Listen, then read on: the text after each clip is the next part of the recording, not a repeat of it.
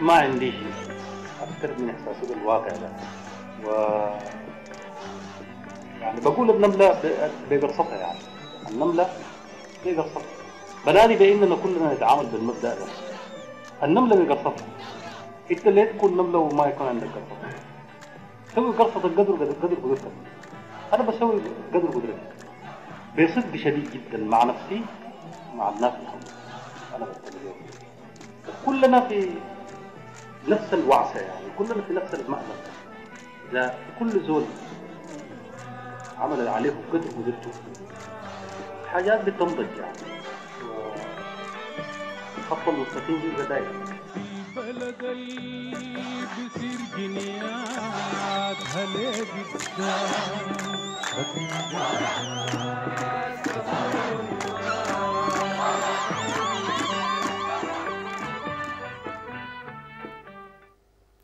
بسم الله الرحمن الرحيم عزيزي المشاهد أينما كنتم؟ أهلا ومرحبا بكم إلى لقاء جديد من لقاءات التوثيق والمحبة والخير والجمال.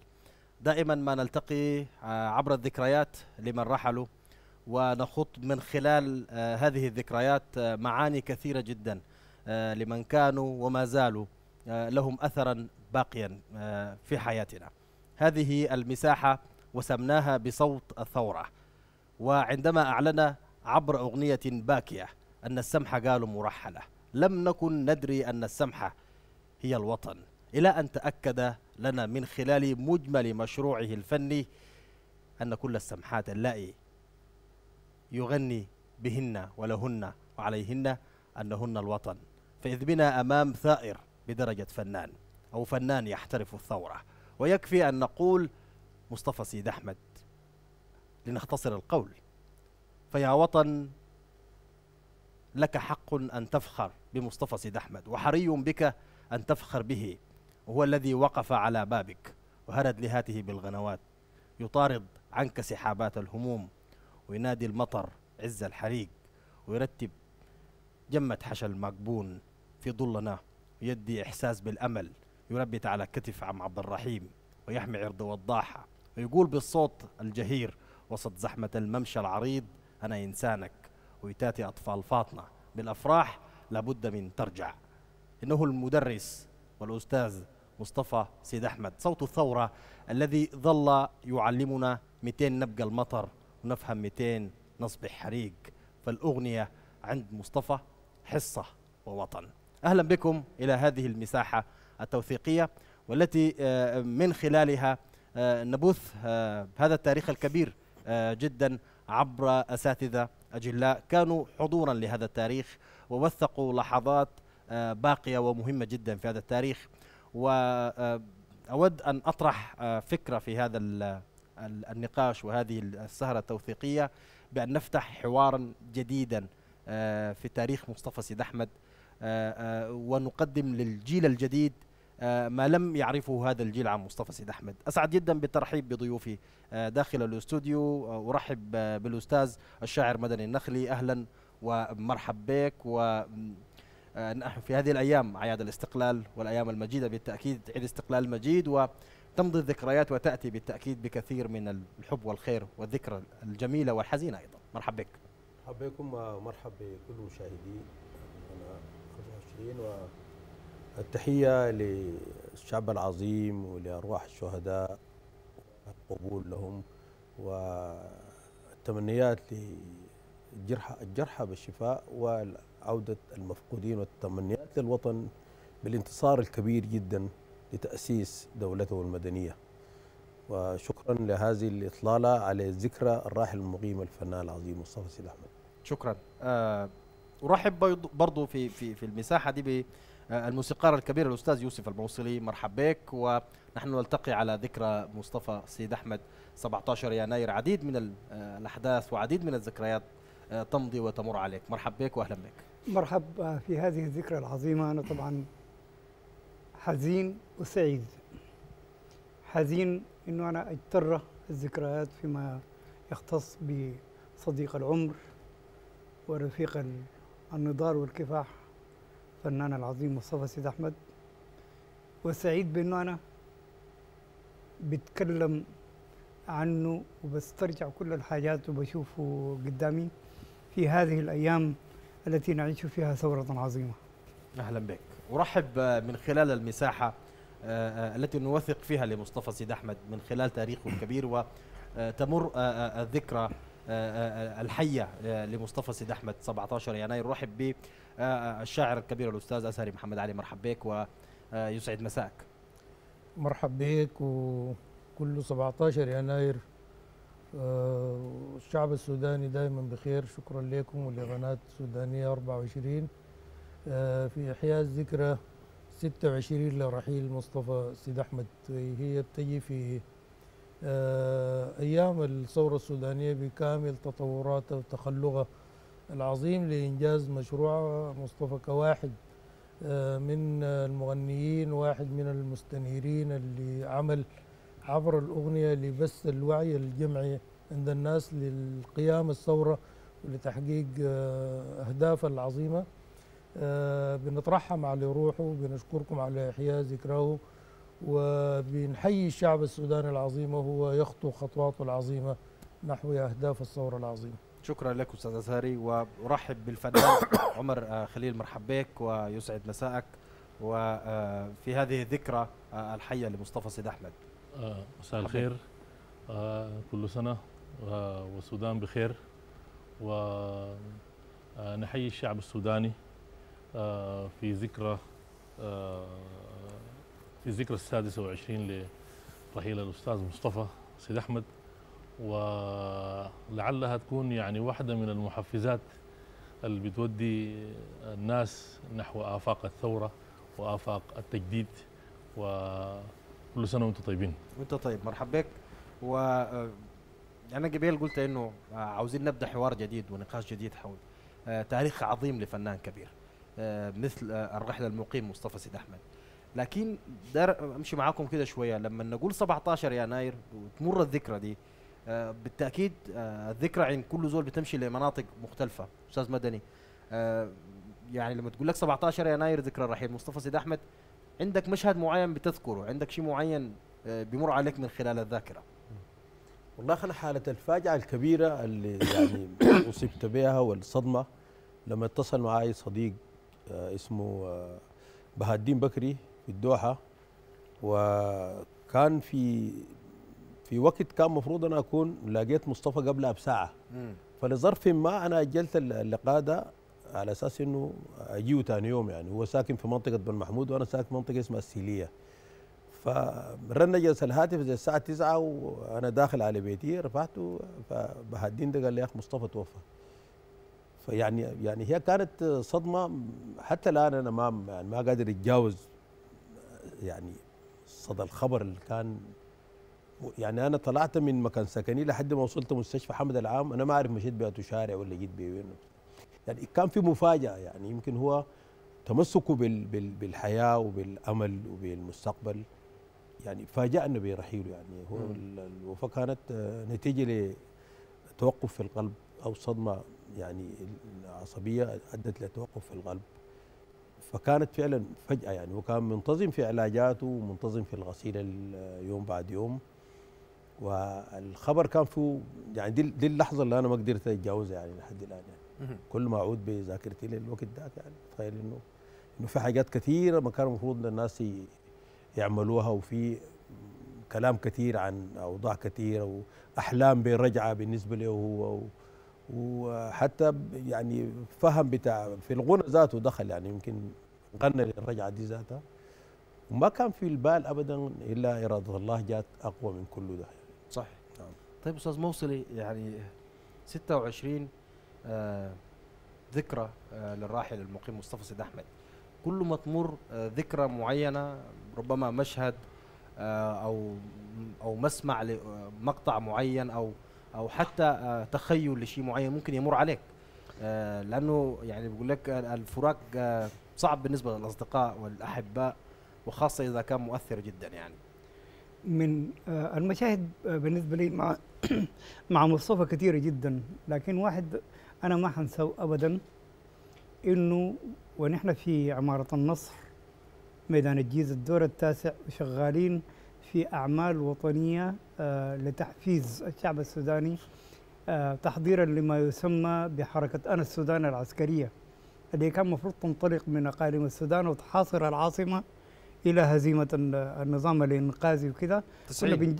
الكلام ده بنجهزه في بيتنا وأنا مم. قاعد في الكمبيوتر وجنبي مصطفى والمجموعة. 90 وفجأة الكلام ده 90 سنة 90 صح؟ آه آه تقريبا كانت 92 أيوه. فجأة جت زلزال بتاع القاهرة. شهير الفظيع ده كان أيوة. أيوة. 7.9 أظنه. آه أول حاجة نحن كلنا طبعا اتهجمنا ما زلزال. لكن الوحيد فينا ال- ال كان يعني الانفعال بتاعه مختلف. كان الراحل مصطفى لأنه الشقة كانت على الشقة فكانت والدته الله يرحمها موجودة هناك. فجري جري عشان يحاول ينقذها. لكن طبعا الزلزال بياخد وهلة صغيرة جدا وبيجيكوا بعد ذاك بتجيه توابع وكده. فكان المشهد ده يعني مشهد آه أنا بفتكر إنه بيعبر عن مدى حب مصطفى لوالدته اللي هو من حب الوطن يعني. صحيح. آه، أستاذ أزهري يعني في ذات برضو المشاهد والذكريات وربنا يديكم الصحة والعافية ونشوفكم آه، في كل ذكرى ونوثق لكل آه، لحظة حلوة ومرة. لأنه التوثيق مهم جدا للأجيال بالتأكيد. لكن لو حبيت إنه أسألك برضو بطريقة مختلفة فيما يخص المشاهد التاريخية ال- الراسخه شنو ما تنساه؟ من لحظات مصطفى سيد أحمد. آه، وأنت يعني التقيت به في زمن باكر يعني من قبيل بتونس معك قلت لي إنه عن طريق الصدفة. لكن شنو ما تنساه نهائي؟ مشهد لا ينسى آه، في مخيلتك عن مصطفى سيد أحمد. هي أي لحظة آه، مرت في العلاقة مع مصطفى عندها قيمة وعندها دلالة وعندها. معاني كبيرة جدا. آه، مصطفى كان آه، مفيد كل حاجة عنده. بتطلع منها بمعرفة وبمعلومة وبثقافة. وحياتنا عموما كانت سريعة جدا بوجوده وكان هو محفز ثقافي عالي القيمة يعني. اللحظات اللي ما بتتنسي 17 يناير هو يوم ما بيتنسي لكن ما أذكر في 17 يناير تحديدا لما وصل جثمان مصطفى سيد أحمد. مطار الخرطوم. ومطار الخرطوم. والحاله بتاعت الالتفاف العظيمة كانت من الشعب السوداني والمشوار من المطار لكلية الموسيقى والدراما ومن ثم للسلفاب آه، في مواراة الجثمان أنا قلت في في مغابر السلفاب آه، ما دفناك ولكن بذرناك حتى تنجب الأرض. التي أنجبت مصطفى ألف ألف مصطفى يا سلام ما نشوفه الآن في شباب الثورة والشعب السوداني أنا كل مرة قاعد أشوف مصطفى جديد وأشوف مشروع مصطفى بينتج وبيثمر بطريقة عالية وبيتحول الحزن على رحيله لفعل إيجابي ولفعل مفرح تماما من خلال ما بثاه هو من معرفة ومن ثقافة ومن استنارة في هذا الجيل ومن استنهاض لهممه وتمليكه لأدواته لصناعة التغيير الحقيقي. فبتتحول الحالات الحزينة لحالات مفرحة وتخلق مدعاة للتأمل وللفخر بما قدم من خلال مشروع الثقافة ده. كان يمكن واضح حتى من نعم. الهتافات واللافتات الكثير جدا بنشوفها من خلال المواكب العظيمة لهذه الثورة العظيمة. بنشوف كثير جدا من ال- الكلمات المفتاحية ذات المعاني اللي بتعبر دائما عن الحقوق والخير والجمال. كانت ترتبط بمصطفى سيد أحمد بشكل آه، كبير جدا وبعديد من الشعراء آه، آه، الوطنيين من خلال التوثيق. ده برضو ما ننسى إنه نترحم عليهم الشاعر الكبير حميد والشاعر الجدال عليهم الرحمة. برضو يربطهم رباط وثيق جدا بالمشروع ال- الغنائي الكبير الوطني الخير لهذا البلد ال- المعطاء بالتأكيد. ما ننسى إنه برضو نرحب مرة ثانية بالأستاذ عمر خليل.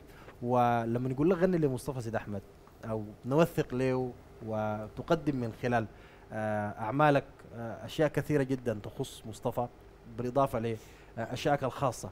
تمشي وين وتقيس كيف وتخط ال- النغم كيف وشنو بيكون إحساسك؟ آه طيب آه بسم الله. آه طبعا ال- التجربة بتاعت مصطفى يعني تجربة آسرة جدا وتجربة يعني الفكاك منها فيه من الصعوبة بمكان يعني.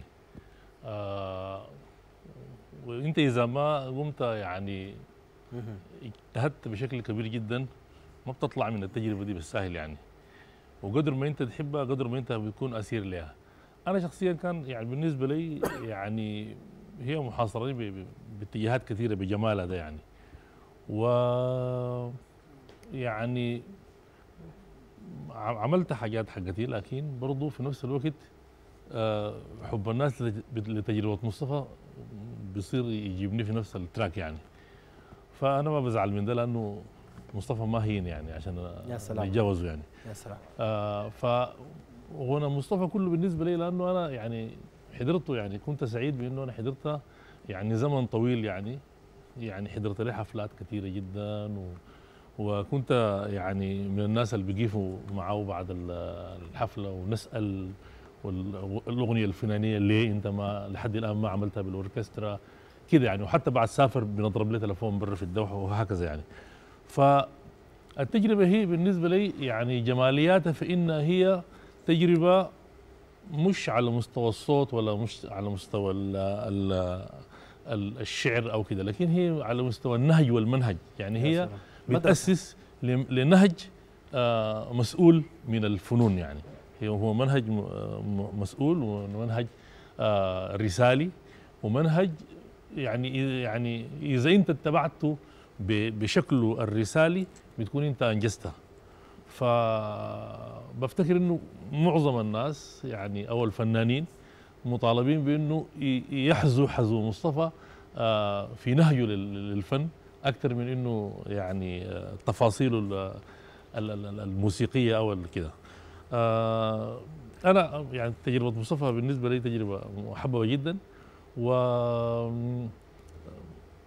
يعني داير برضو أخش في في في نفس المود ال- اللي كان بيتكلموا عنه أساتذتنا الكبار. في من يعني يعني هو كإنسان كان يعني آه، سابق فكرته كفنان يعني.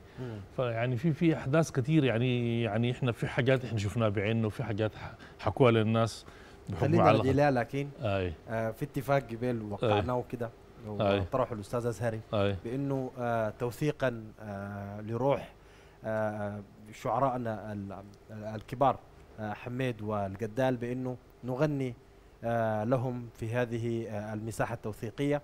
نسمع منك آه جداً. مساحة أولى ومن ثم نعود ولسه جداً. الزمن بدري يعني يلا. جداً. نسمع شنو؟ ممكن أسمع سمحة وسمرية سمحوا سمري اي القدال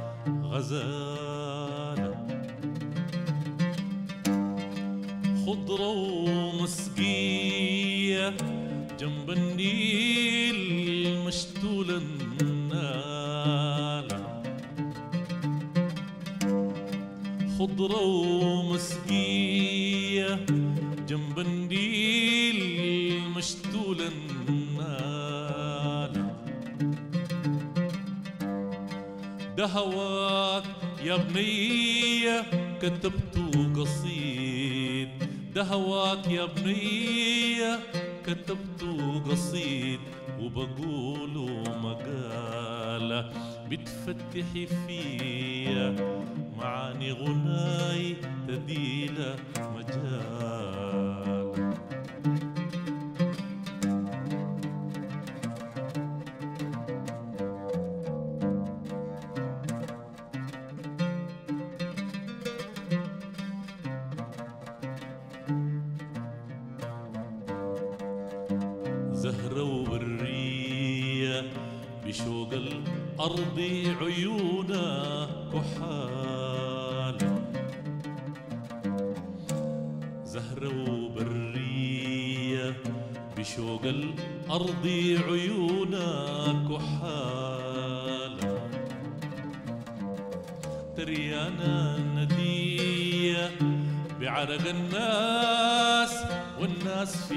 في بال زهرة وبرية بشوق الأرض عيونا كحال تريانا ندية بعرق الناس والناس في بال. يا خوف علي عقل أسبات يا خوف علي عقل أسبات يا خوف علي عقل أسبات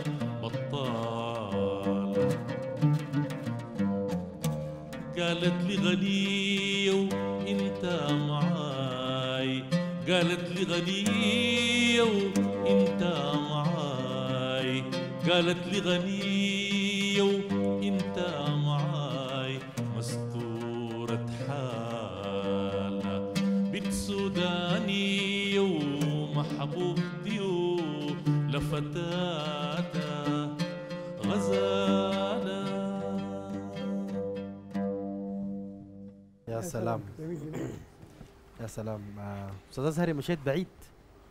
والله بعيد وقريب آه، مع قدال أصلا هو ما بعيد يعني. مم.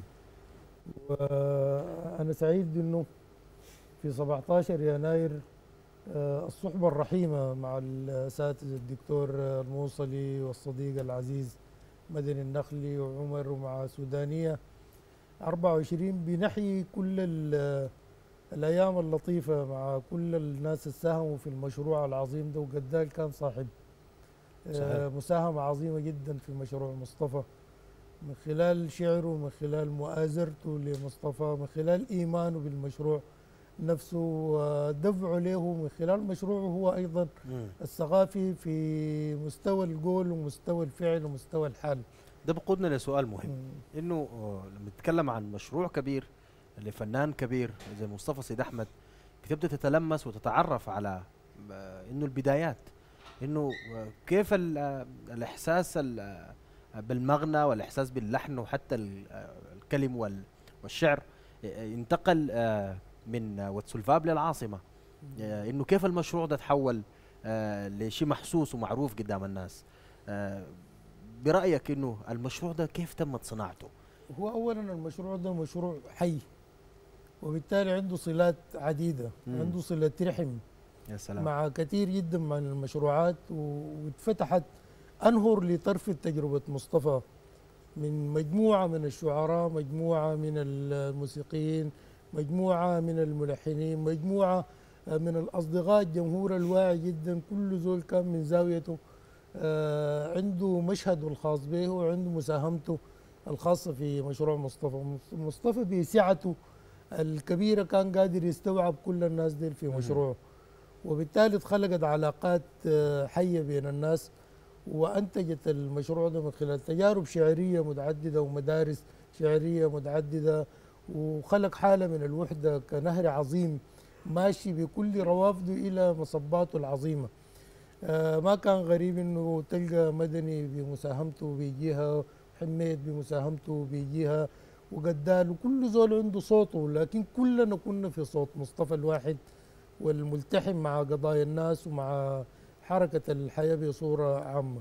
وخلود هذا ال- المشروع وتفتحه على مدارس شعرية ومدارس غنائية أخرى. هو يؤكد أنه هو فعلا مشروع حي ومنتمي لحركة الحياة باستمرار. يا سلام.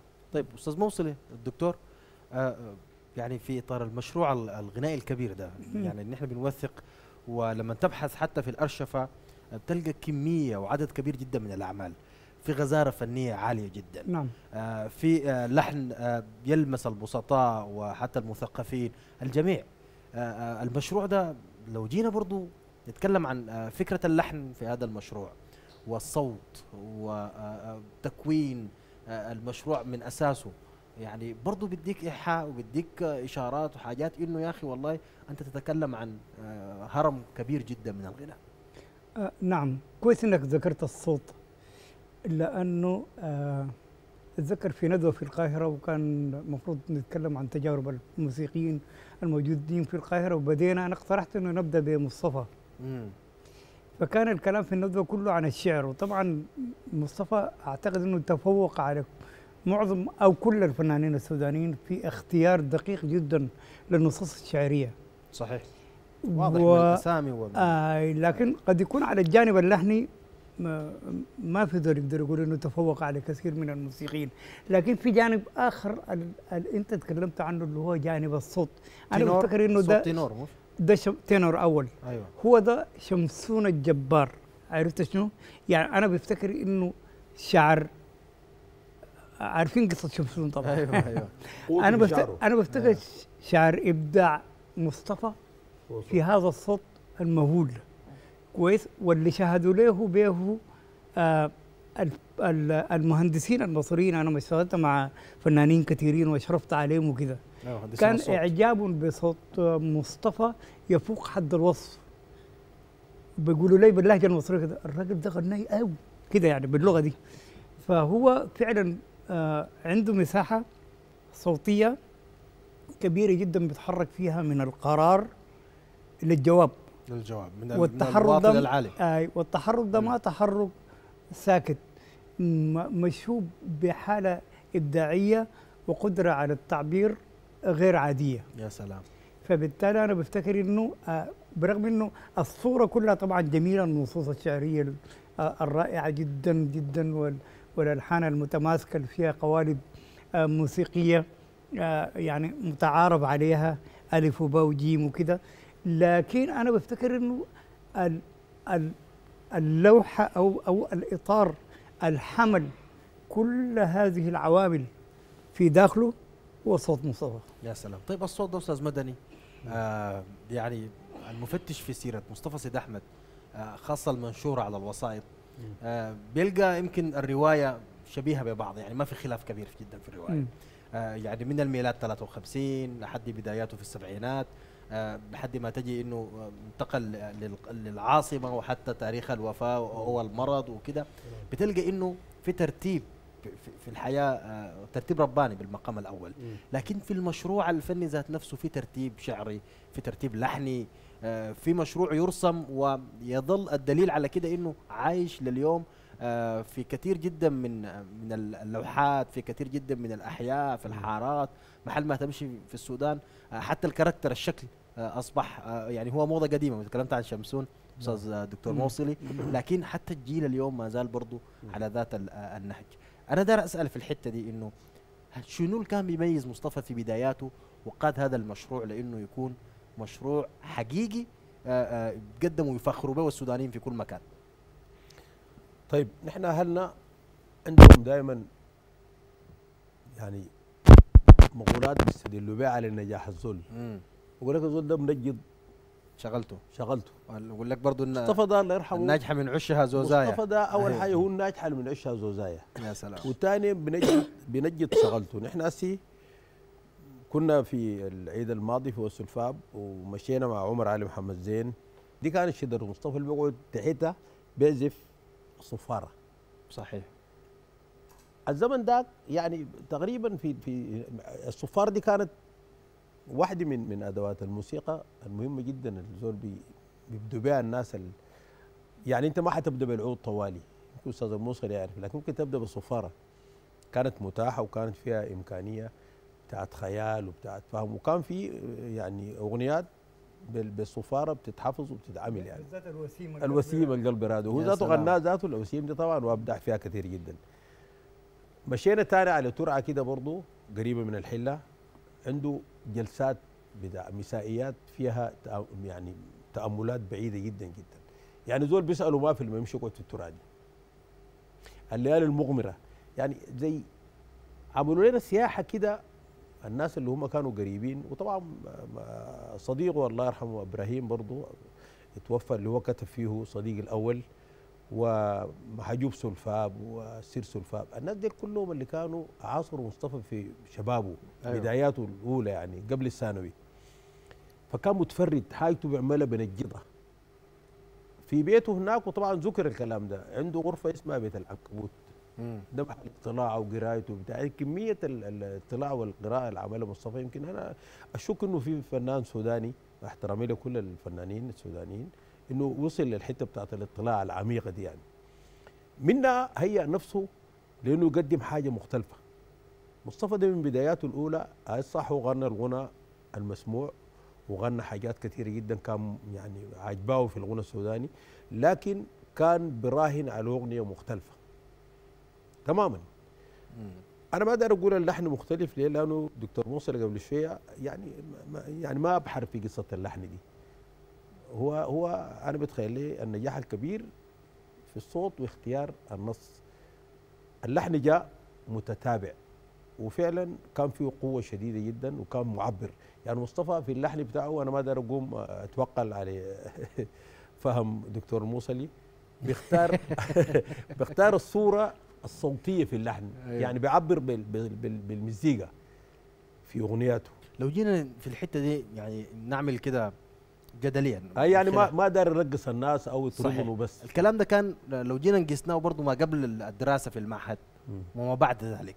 ناخذ جزء منك ونمشي لأستاذ موصل ونجيك برضه أستاذ ساري. ونجيك عمر آه، ما قبل الدراسة ما بعد الدراسة يعني أنا هو في الدراسة الإضافات شنو؟ هي ما تجاوزت العامين يمكن مم.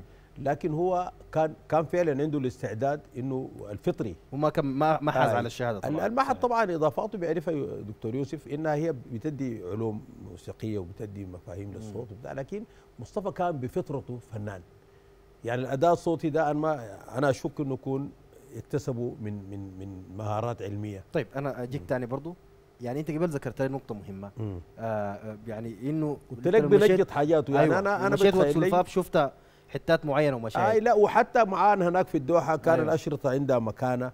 يا في سلام. حاجة اسمها فكر لحنية. أيوه. بتتعمل تتخطى في الشريط. عارف الشريط رقم كده. الفكرة بتاعت لحن. كويس. شفت كيف؟ في يعني بيوثق التواريخ بتاعت بداية الأغنية. مهم جدا كان لحد. نهاياتها هي. حتى في أعمال هو لسه ما قدر يلحق عشان يقدمها بالأوركسترا. هو كان فنان تشكيلي من الحياة المعروفة آه عنه هو بيرسم. تتذكر الخط؟ شكل الخط كان كيف؟ بيرسم بخط وعنده أيوة. عنده يعني مقدرات آه، فنية غير ال- الغناء والتلحين يعني. مم. تشكيل. آه التشكيل نعم. صحيح. طيب أستاذ موصلي يعني إضافة المعهد آه، آه، ال- الفني. لكن في برضه حتة مهمة جدا. دائما الناس بتمشي للبندر العاصمة الخرطوم. بتنهل العلوم وتعرف أكثر لكن ده بيتكلم برضه عن إنه آه، في الحتة بتاعت البذرة الأساسية والحقيقية المحتاجة تطوير وتعليم. شنو برضه تأثيرات المعهد وكيف هو جل المعهد يعني؟ جل الخرطوم. كويس. أنا قبل ما أجيك للمعهد دار اجيك للحتة اللي قالها مدني بتاعت إنه ما دار يعمل غنى يرقص الناس. أنا بختلف معه فيه مم. أنا بفتكر إنه البت الحديقة. يا سلام. وكوني ال- كون النجمة. كوني النجمة. دي اغنيات مايكل جاكسونية. يعني لو في لو في مخرج كويس جدا وبتاع زول بتاع مصمم رقصات أيوه. ممكن من الأغاني دي يعمل حاجة تدهش العالم، العالم طبعا ما زينا بيعتمد على الحاجة والغنى والنص والبتاع بيكون الصورة كلها متكاملة، أنا أيوة. بفتكر في بعد دي وأعمال ثانية كويس أنا بفتكر إنه ديل ممكن كان يعني يتعاملوا بطريقة عالمية جدا ويمرقوا للعالم يعني وراقصة. مم. فالج- فن- أنا مصطفى مشحون بكل أنماط الأنماط اللحنية. يلا أنا داير اجيك لل- للمحد ادى شنو لمصطفى أداه التعبير ال expression في الغنى. يعني من الفنانين القلائل في الموسيقى السودانية اللي هو بتلقاه يعلي صوته لأعلى درجة وبعدين يخفض تدريجيا. نحن بنسميه في المصطلحات الموسيقية عندنا crescendo diminuendo يعني الصوت يمشي كده يتموج. كده عالي وبعدين يرجع كده ما تكون آه. بيسموها ال dynamics اللي هو التفاوت في القوة ما بين حدة الصوت وغلظته والأداء. ورقه الصوت يا. صحيح. أستاذ هاري قال لك كلمه فاتت عليك قال لك زي ما تكون محلك في السحاب فجأة. العواصف فجأة فجاه فجأة تهبط في السكون. من هنا. بنحيي الشعر الجميل حاج صديق. يا سلام لا بالضبط يا سلام. حاجة فيك. صحيح نعم. صحيح. يا أستاذ سلام. آه المشروع ده كيف جرى لل- للعاصمة؟ وكيف عم كل ربوع السودان؟ كيف ذكرت نقطة إنه أنت قلت لما مشيت لل آه، حين الوفاة وفي المقابر وكده أنت. ذكرت إنه قلت إنه بدرناك آه، يعني ادخرناك للأجيال عشان ما تنتج من جديد وتبقى بذرة صالحة لكن هي- كيف المشروع ده عم هي كل أنا, في تقديري دائما القرى. القيمة الأساسية لأي عمل فني هو إنه نابع من الناس نفسهم مم. مصطفى تجربته كان ماخذة من الناس النصوص اللي اتكتبت اتكتبت في الحياة اليومية في حركة الغبار اليومي في هموم الناس اليومية. وبالتالي هو آه، أداها أجنحة ورجعها للناس وبالتالي كانت حالة القبول لها حالة خاصة جدا بأنه ده فعل يخص الناس. ودي ال- حالة الصدق الأساسية اللي تميز بها مصطفى واللي بتصنع الفنان في الأساس إنك أنت سلام. إذا منتمي للناس بتلتقط كلامهم وبتدخل فيه بعد ذاك رؤاك وصورك الجمالية. لما يستعيدوه الناس بيستعيدوه باعتباره حاجة تخصهم زي كأنك آه، في وسط الحاجات والكراكيب اللي عندك في البيت بتفتش عن حاجة. لما تلقاها بتحس بأنه الحاجة دي بتخصك أنت حاجة آه، رحيمة وحميمة جدا مع نفسك. مشروع مصطفى كان نابع من الناس وبالتالي لما رجع للناس الناس قبلوه. وعنده قدرة بتاعت تماهي وقدرة بتاعت آه، تطور عجيبة.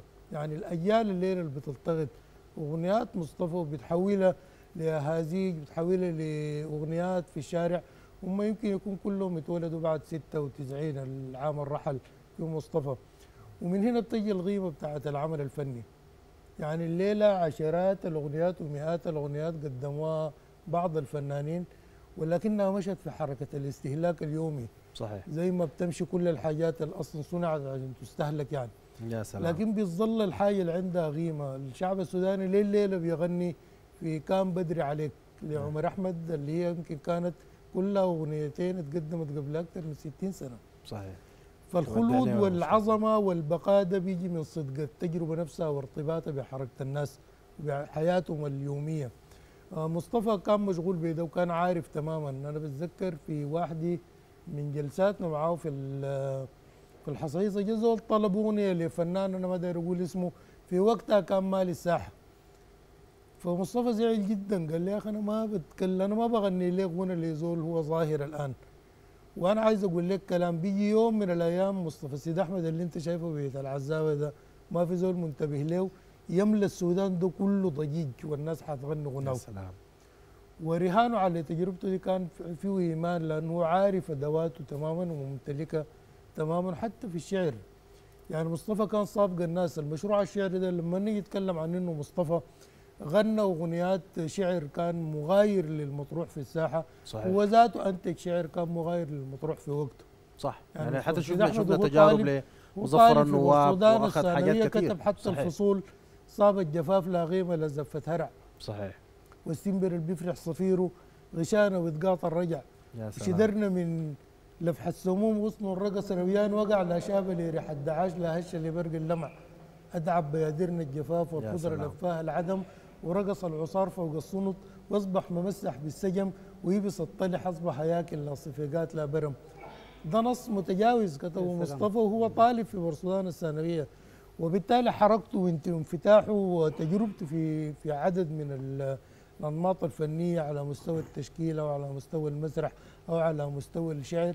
خلى مصطفى عنده حالة بتاعت وعي بال بالحادث في الساحة وبالتالي التقاطه للتجارب الشعريه المتجاوزة في وقتها كان عالي جدا وبذكاء عالي واستطاع انه يمشي. بمشروعه ل...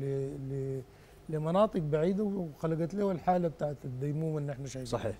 التجاوز ده اضيف حتة بالنسبة. للاستاذ اسهري إنه هو في في طبعا في حاجة الناس قاعدين مصطفى غفار اليوم وهو طبعا هي أساسا ما كانت مشكلة. إنه المشروع ده ذاته في البدايات الأولى كان محتاج لاستيعاب نفس الناس ذاتهم اللي غنى من اجلهم مصطفى هم اللي استوعبوا الفكرة دي وأيدوا يعني مضامين الغنى الجديد ده. يعني في فترة ما أعرف أستاذ اسهر يتفق معي في فترة كانت لجان النصوص عندها رأي في إنه ما هي ثوابت بتاعت غنى معروف يعني كان بتكتب ثلاثة مقاطع ثلاثة مقاطع بتاع ولما يتعرض. للجان النصوص أيوه. هم بيفترضوا فيه إنه في فورمة معينة إذا ما توفرت. فمصطفى عاني من الحتة دي كثير جدا جدا. عشان كده أطلق مشروعه للهواء الطلق. بقى يغني لأي زول. والناس اللي بيجوا يقصدوه ويجيبوا أشرطهم وهو عنده. عنده مسجل وبسجل يعني ساعد الفكرة في إنها تصل للناس بسرعة. في حين إنه الجهات الرسمية اللي كانت هي كانت بتمنع. بتمنع. مش بتمنع بترفض إنه يعني غنى جميل جدا زي يا ضلنا مثلا. أيوه. أبو زيد برضه ضليت. له التحية أستاذ؟ قاسم. هاي. عباد الشمس عباد الشمس. سافر. رفضت اي اللي رفضت الاغاني دي هاي. رفضت وأنا ذاتي عندي نص فيها اسمه في عينيك عشان باكر. رفضت تماما ودق فيها الختم موجود عندنا الأوراق. مصطفى يعني لو كان فنان آخر كان رماه وشاف غيرها أصر على توصيله وبقت أغاني الآن في متناول يد الناس. فأنا بقول إنه ما جاء زي ما بقول له بيقول لك ما جاء عشقك من فراغ وما جاء كمان آه، الغنى ده من فراغ. يا سلام. هو قدم روحه هدية من أجل إنه يوصل المشروع ده. خلينا ن- نتذكر آه، برضو آه، جزء من الألحان وجزء من الكلمات العظيمة والراسخة آه، في مسيرة ال- الفنان آه، الراحل المقيم مصطفى سيد أحمد. أستاذ عمر أجيك تاني. وشنو تمشي بينا وين؟ نسمع شنو من عندك؟ آه، ممكن ده نسمع لل للراحل حميد. الله الرحمة. آه، بين الموج والخزان. ممكن تقول كلماتها في الأول بعد ذاك؟ آه، سني على النضال يدي سوك بالهتاف فمي شوارعك لي آه، دويها. دويها علي إذا ما آخر العلاج الكي مراويدك حمر يمي. تفضل.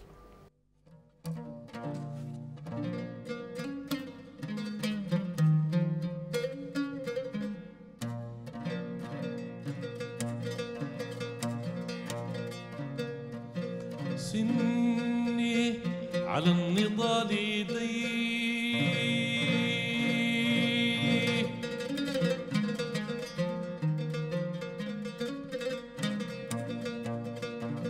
سني على النضال يدي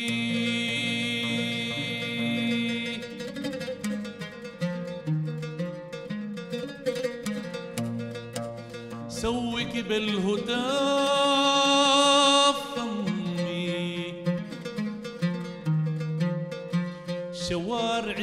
شوارعك لي دويها علي.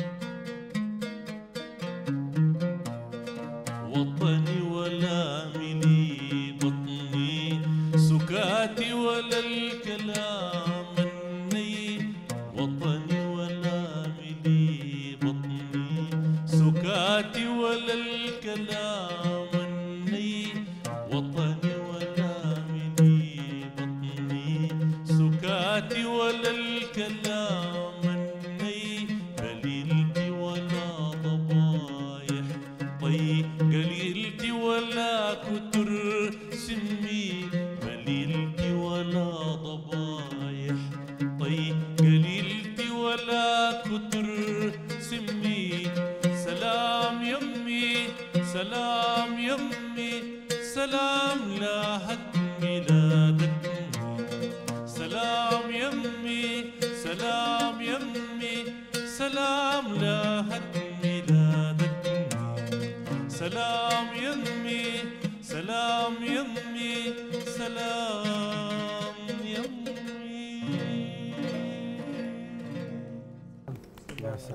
سلام يا جميل، سلام.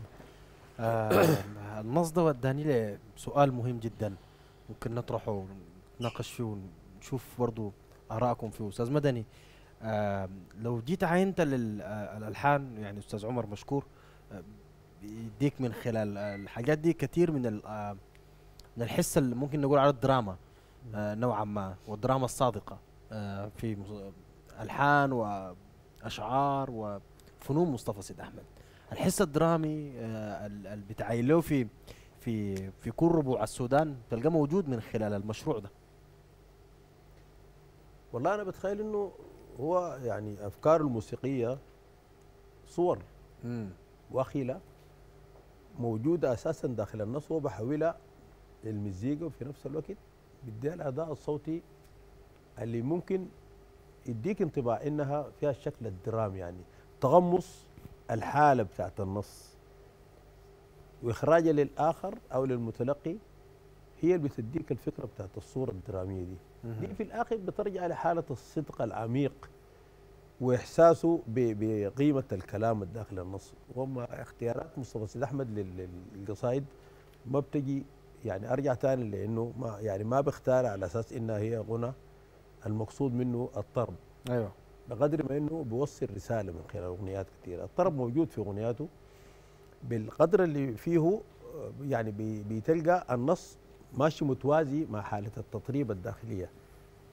في صور درامية أنت بتتشبع بها وأنت صحيح. بتستمع للاغنيه يمكن في عديد من من الأعمال هو ده ما يعني فيه حتى فيه فيه مناطق كثيره جدا جغرافية. بيتكلم عن ج- الجبال وبيتكلم عن خزان وبيتكلم أيوه يعني دي كلها يعني سياحة بفكرة جواها فهم معين لتحرير الإنسان من الواقع المرضى اللي هو بيتكلم في إنه يعني هيجي اليوم اللي بتكون الموية في تناول اليد وبتكون اللقمة في متناول اليد وده أيوة. كله ي- توق الإنسان لمستقبل أفضل يعني صحيح. مصطفى كان التزامه تجاه قضايا الناس وتجاه معاناتهم وتجاه حياتهم وإحداث التغيير للأفضل.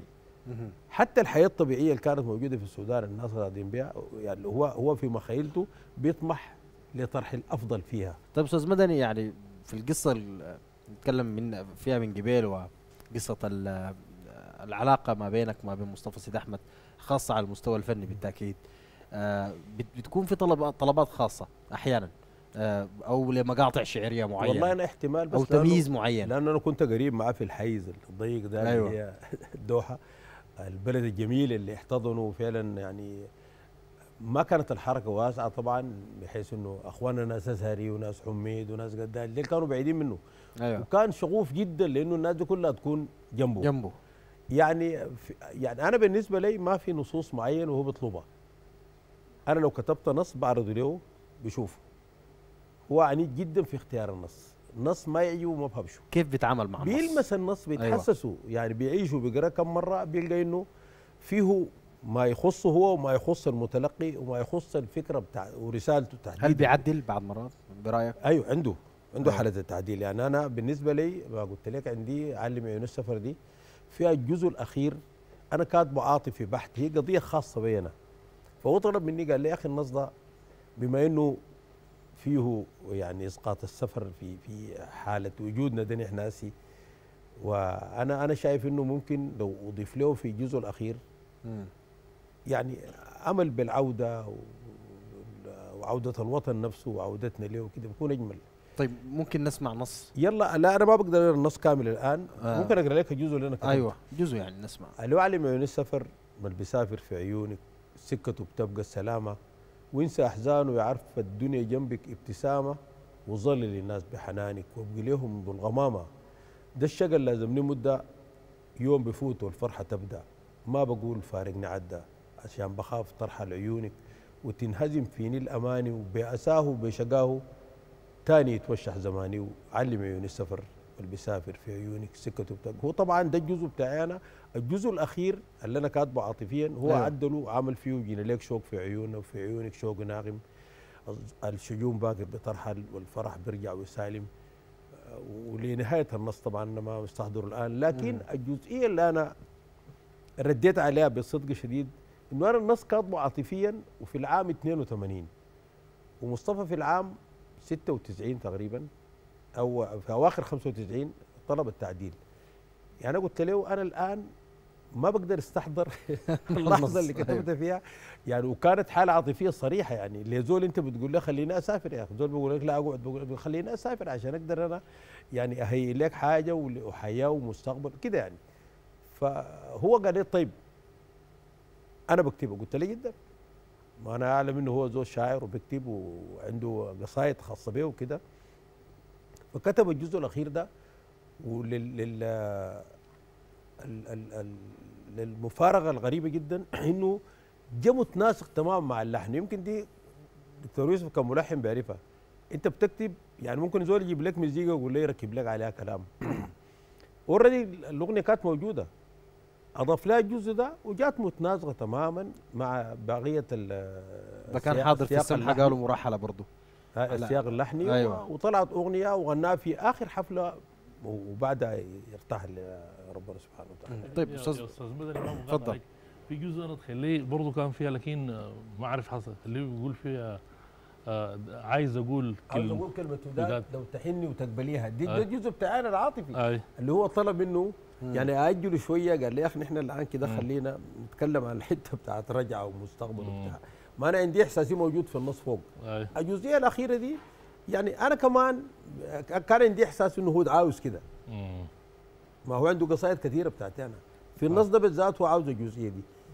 فما كان فارقة معايا أنا باعتبار إنه يعني النص بيتكلم عن حالة إنسانية كله يعني. حتى بعد ما هو كمله الشكل الإنساني موجود جوا يعني. صح. ما حصل اختلاف كبير يعني. صحيح. طيب أستاذ موصل يعني في الحتة بتاعت أستاذ مدني آه مشاريع إنه التعامل مع النص لحنيا. آه هل في جزء معين ممكن يعني ممكن الشاعر يكتب القصيدة بتراتبية معينة للقصة؟ بما فيها من تصور درامي وعاطفي وما شابه. لكن لما تجي للحن كيف بتركب النوتة الموسيقية في مشروع مصطفى سيد أحمد والتعامل مع النص آه آه الغنائي؟ ويا ريت لو أخذنا نماذج. أنت جامعتك به ويمكن آه واحدة من النماذج الشهيرة في العالم الثالث. أي ب- بجيك لطفل العالم. لكن هو طبعا على فكرة الناس ب- بتفتكر إنه ال- الأغنية ما المفروض يكون فيها قالب. المفروض يكون. يعني أيوة. بتدرس في الجامعات في حاجة اسمها songwriting اللي هي كتابة الأغنية. أيوه. ده ما معناه إنك تمرق من إحساسك وما تعمل الحاجات. يعني أنت ممكن تكتب أغنية وممكن تكتب نص مقروء. أيوه. أنا ده رجل الحتة اللحنية دي آه عن مصطفى عنده طريقتين في التلحين. أحيانا بيستخدم الأسلوب القالبي. زي كوني ال- نجمة النجمة زي البت الحديقة زي ما عارف. كده. في قالب موسيقي محدد واحد أيوة. اثنين ثلاثة كده يعني.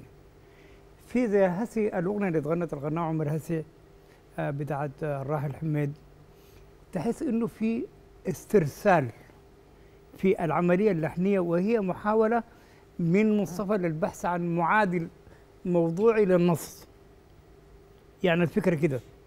يعني هو بيحاول يعمل انتربريتيشن أو فكرة عبقرية. أو تفسير للنص لكن بطريقة لحنية. كويس. ده, ده الفرق بين الطريقة دي والطريقة دي. هو بيمتلك ال- الطريقتين دي الاثنين الاثنين دول أرجع لك لطفل العالم أنا بفتكر دي حتة مهمة جدا. في تنافس أنا غنيت معاهم. طبعا ما بقدر أنافسهم الناس دول غنايين وردي ومصطفى. لكن في هذه الأغنية اللي هي مم. بكلمات ليلى المغربي الله يرحمه عليه الرحمة ويغفر لها وطبعا أنا لحنتها ووزعتها وكانت معدة إنه أنا أغنيها مع ركي في السودان والامن رفض كان غناء هناك.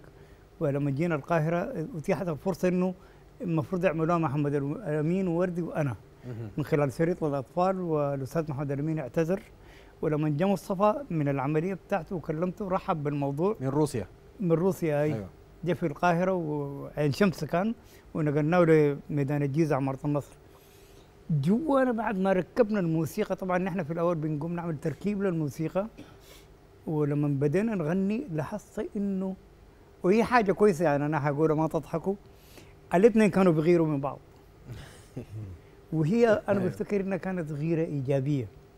أنتجت لو الزول انتبه كويس جدا لطريقة الأداء اللي أدوا بها مصطفى وردي في في طفل العالم الثالث بحيث إنه كان في تنافس حميم طيب شديد في- جدا في بيناتهم. قصة هنا برضو يعني الناس برضو سمعوها كثير. إنه الدليل على الغيرة دي إنه كان آه، مصطفى يردد ال- الكوبليه وردي يردد نفس الكوبليه. وبعدين ويتنافس فيه أكثر يقوم يعمل حاجة تانية شوية يحاول يتفوق بها على مصطفى. يجي مصطفى يجي راجع بيقوم يعمل حاجة تانية يولع في ورد النار يا وهكذا سلام. فكانت لمصلحة ال- ال- أنا شخصيا كنت المست... المستفيد الأول. يا سلام يا سلام. أستاذ أزهر يجي عندك تاني؟ وحابب أسمع من عندك نص. قلت لي خلي البساط أحمد وخليه بس عفوية؟ أنا أنا قبل ما أخش وأضيف من عندك، تفضل. أنت طرحت سؤال في تقديري سؤال الجوهري. ومهم جدا نجيب عنده هي مسألة المسرح مصطفى. والمسرح في كثير جدا من القصائد اللي تناولها مصطفى. صحيح. أنا دائما قاعد أقول إنه الحاجة دي حسيتها لما مشيت نوري. ونحن بنسلم على الناس أنا كنت حاسس إنه أنا بسلم على الشخوص اللي شفتهم في قصايد يا حميد. سلام. رجال ونساء. يعني في اللحظة دي كنت شايف عم عبد الرحيم. شايف عيوشة وشايف حمتو وشايف آه، سر بن عوض الكريم وهكذا. وتذكرت المغولة بتاعت آه، مايكل أنجلس إنه هو لما سألوه كيف بتنحت آه، الشخوص اللي في أيوة. لوحاتك من الصخور والجبال. قال هم أصلا في الأصل موجودين في هذه ال- الصخور. كل اللي أنا بعمله بحاول إني أحررهم. من حالة ال- السجن. اللي هم فيه يعني. فمصطفى كأنما أخذ الناس دي من القاع الاجتماعي حميد وحولهم لشخوص موجودين في قصايده. دي خلقت مصطفى وبالمناسبة عم عبد الرحيم بكل السرال فيها والشخصيات وكده هي مسرح. صحيح. فيها المكان وفيها الزمان صحيح. وفيها الشخوص والحركة بتاعت الناس والتصاعد والتسلسل وصف دقيق. والسرد المسرح الموجود في القصيدة. أيوه. وصديقنا الراحل ربنا يرحمه ويغفر له خطاب حسن أحمد حول السلام. العمل ده لمسرحية اسمها مع عبد الرحيم برضه الأديب الكبير صحيح ودي بتسوق ذاته مصطفى حتى في مجموع عدد من الشعراء الأفزاز اللي تعامل معهم هم كانوا ناس بتاع, المسرح أصلا يعني يحيى فضل الله بتاع قاسم مسرح وقاسم ابو زيد بتاع خيري. مسرح وعاطف خطاب. خيري بتاع مسرح صحيح. وخطاب بتاع مسرح وهاشم صديق مسرح عمر صحيح. الطيب الدوش مسرح صحيح فتعامله مع ديل كان بيوري لياته مدى احترامه وإيمانه بدور المسرح وبالتالي في أغنيته في مشروع ال- الغنائي كان موجود. نرجع للنص آه، يا مصطفى المقبول سلام. سامحنا نحن مقصرين. إيدين بتاخد بالشمال حاجات تمدها باليمين. والايادي اللي لوحت حزنانه يوم ذكر الحسين دي الأيادي اللي بشرت فرحانة يوم صلبوا الحسين ما المفاتيح اللي بتفتح هي المفاتيح اللي بتقفل وهي اللي بتعرف كيف تدير لعبة الموت في اتجاهين. يا سلام. ومشتاقين حبيب القلب يا طيب أراضيك وين؟ وين؟ أمس ما لحقت تمسي عليك ولا مساني من طيب الأغاني حنين. سنين مرت عجاب بالحسرة ما خلت وراها سنين ورغم قساوة الفرقة وعذاب البير رزاز في دمي حسيتك. مسكتك وانزويت شارعين ودسيتك. من الشك الملاني يقيم براي في سري غنيتك براي شديت خيوط النم وكيت هبش النغم خيتك رميت الهم. عليه ظهر الغنى المسكين وكان كان يا ريتني يا ريتك يا ريتك قريت الخطوة يوم ماشيين مشوار الهوى ودرني يوم فترني بأمشي وتعال.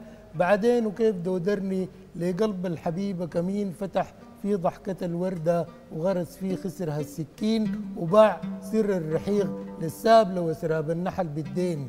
صرخ جوا الحنايا وسن واهتزت مشاعر الطين ولفظ بحر الخطايا وطن. بين غوسين وطن مفصول شمال ويمين ويتبدد حلمنا سدن. حتى جرح النزوح في الروح فما ضر الخلايا إذن.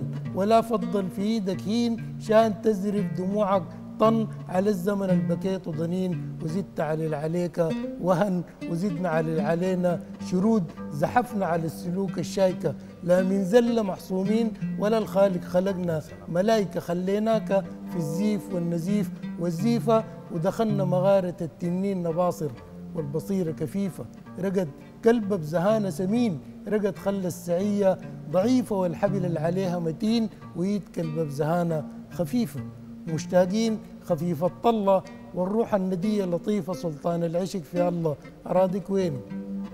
وين تغيب زي الشمس وتبين؟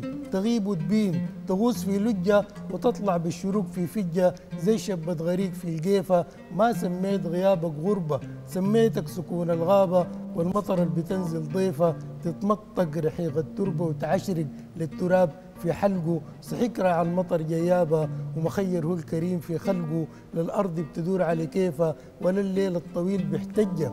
وبدري على الغروب يا صاحي يا داب الصباح بتهجى والورد المفرهد صاحي والطير لغصونك حجة. خليها الملامة دحين بنمرق من نهار الرجة. تشرقنا الغناوي الطعمة يسرقنا الهوى. ونتحجى بالسيرة اللي بتسري شفيفة يا سيد الوسامة يمين وما طالبنا باسم الخليفة حليفة ولا بتسألنا يوم الدين عن البحر الممدد جيفة فقدناك والمغارة ضمة ونحن على ضهب ماشيين قطيع من رجرجة وهتيفة شعراء ومخبرين وهلمة. جرينا على الزبد جرفتنا هضاريب الشعر والحمى قرينا على عجل ياسين وعاودنا الحنين. من ثم لمحناك في اللحد صاحي ونحن على مسد نايمين كتار لكن براك أكتر. براك فوق المداين أمة وقفت على الفجيعة ألف. وقفنا وراك حبابك ألف. حبيب الخير محل ما بدك تنقدر رهيفة إن شاء الله ما تتلتق وتمرق من كهوف العتمة. بشمس الحقيقة مجرتك معدتك بالمداين صر. يا عادي وبسيط واسمر. بنسأل عن عناوينك. تعال عبينا في حلمك. قدر ما تشيل مواعينك. براكة وهط الحضرة ورصنا زي فناجينك. نلم القدرة كان نقدر نقيل في بساتينك. نورك حسك الأخضر. نفرق ولو سمح وقتك. تعال قول لنا بالأكتر تعال.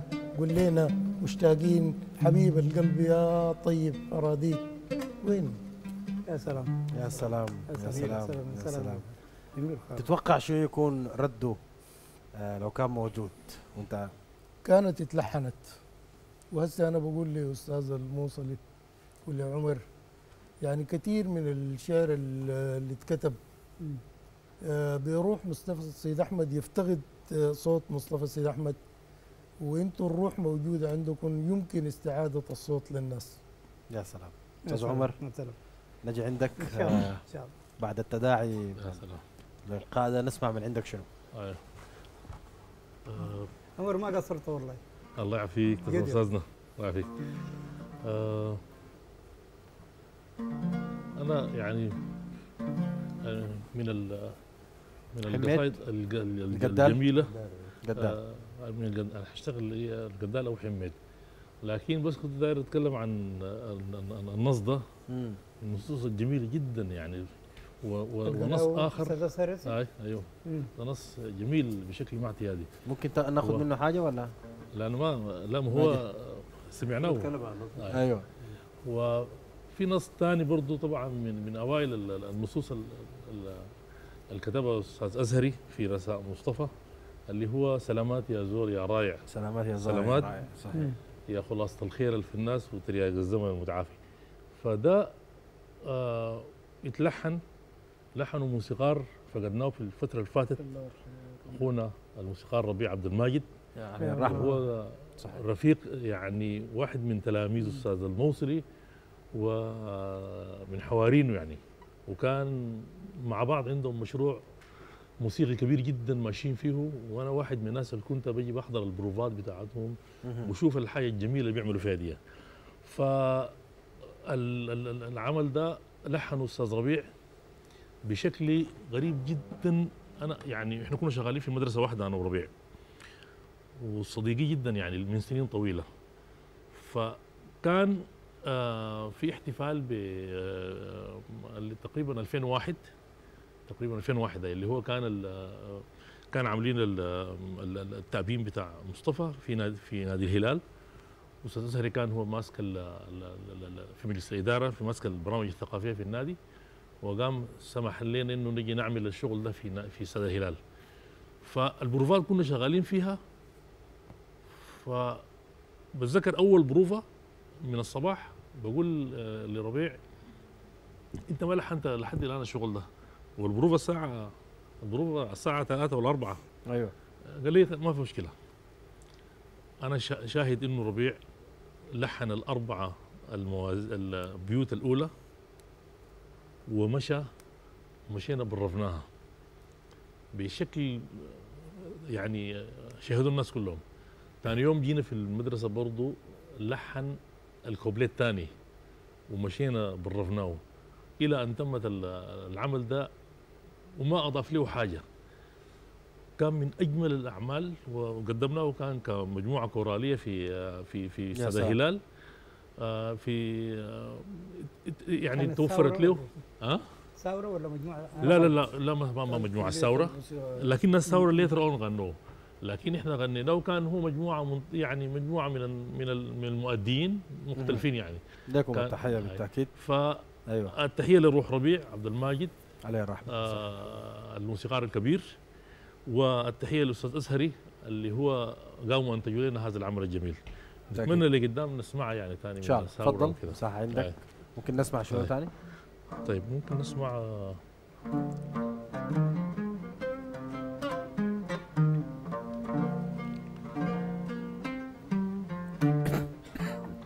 نسمع لقدال آه، ليلة المولد. يا سلام.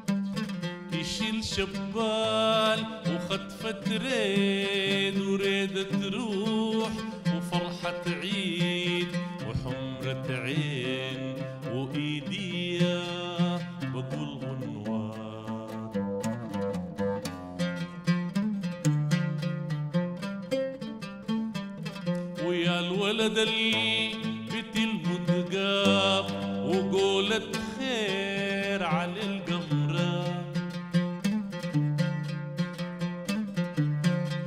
يقابل الجاي متحزم ويدار الجاي متلزم كلام فاسك على أرضك يبقى عديلة يا بيضاء ويبقى زفاف.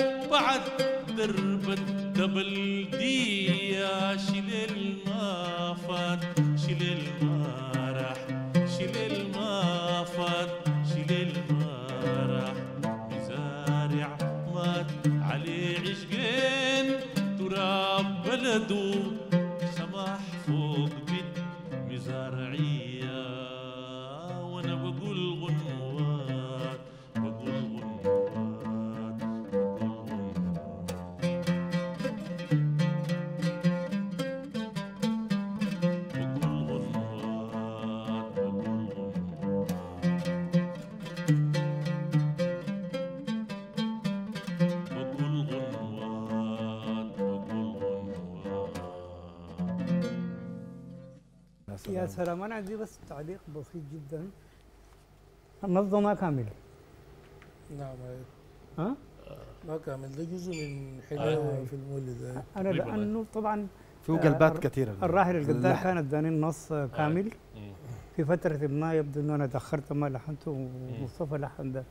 الغريبة سبحان الله أنا الجزء اللي اخترته ما ده الجزء الأول. الأول المدعم ده آخر النص الم- المدعم بعدين والطريف أكثر في الموضوع إنه في القاهرة مصطفى مصطفى هدى له الاغنية دي. يا سلام يا يا سلام. سلام. نحن حنجي لكن ما لتفاصيل كثيره الظروف أستاذ موصلي. حجيك لتفاصيل كثيره في اللحن ده بالذات لأنه فيه تنقلات كثيره جدا. وبرضه أستاذ أزهر وأستاذ مدني وأستاذ عمر شكرا لك. نجيكم برضه للتعديل بتاع آه، مصطفى سيد أحمد في النص في ال- في المقام بتاع آه، وسوى الفاس عليها مقام بقت سوى الناس عليها. مقام بوريك حس الشاعر برضه عند عند مصطفى. لكن خلونا نرتاح شوية. نطلع فاصل من ثم نعود إليكم آه، من جديد في هذه الذكرى آه، 26 آه، لمصطفى سيد أحمد آه، الراحل المقيم. خليكم معنا.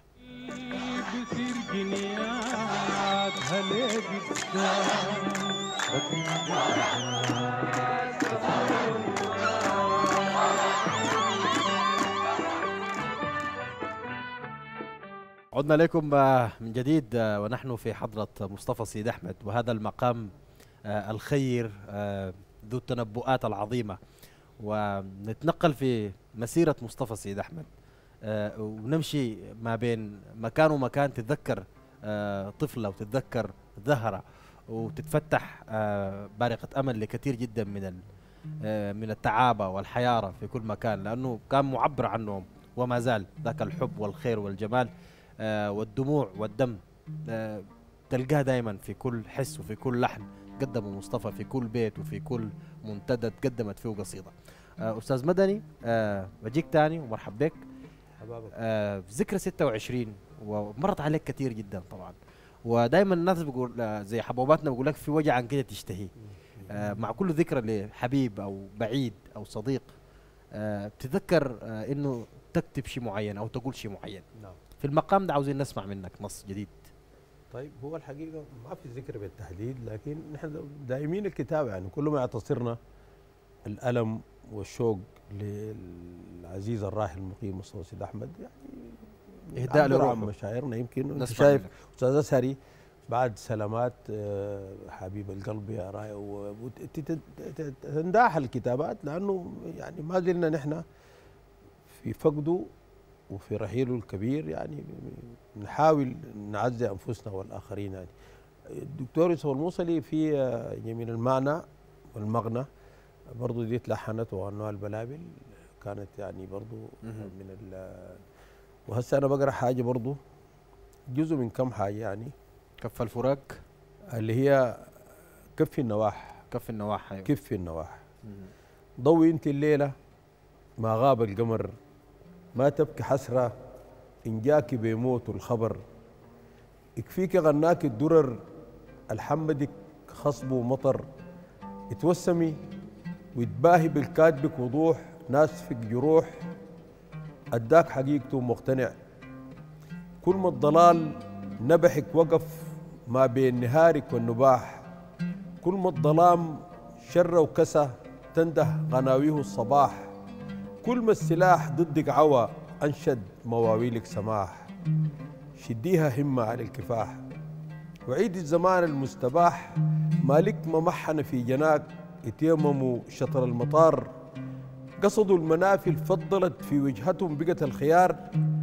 لمن على العنس البنات وتوسدوا الجوع الصغار. اتحنظلت طعم الزمان يتسمى بالعيش العدار. وبصدقك بصدقك لو شعلت في الموية نار وشنو الفضل؟ اللي بيحسبوه عليك عار وتضوي أنت الليلة ما غاب القمر. يحليل من غطاك ستر دساكي في صوت الدفي. لا خان أمانتك زي كتار ولا أنت وعده بتخلفيه عرفاه في عشقك وفي في عنده برضه بتعرفيه.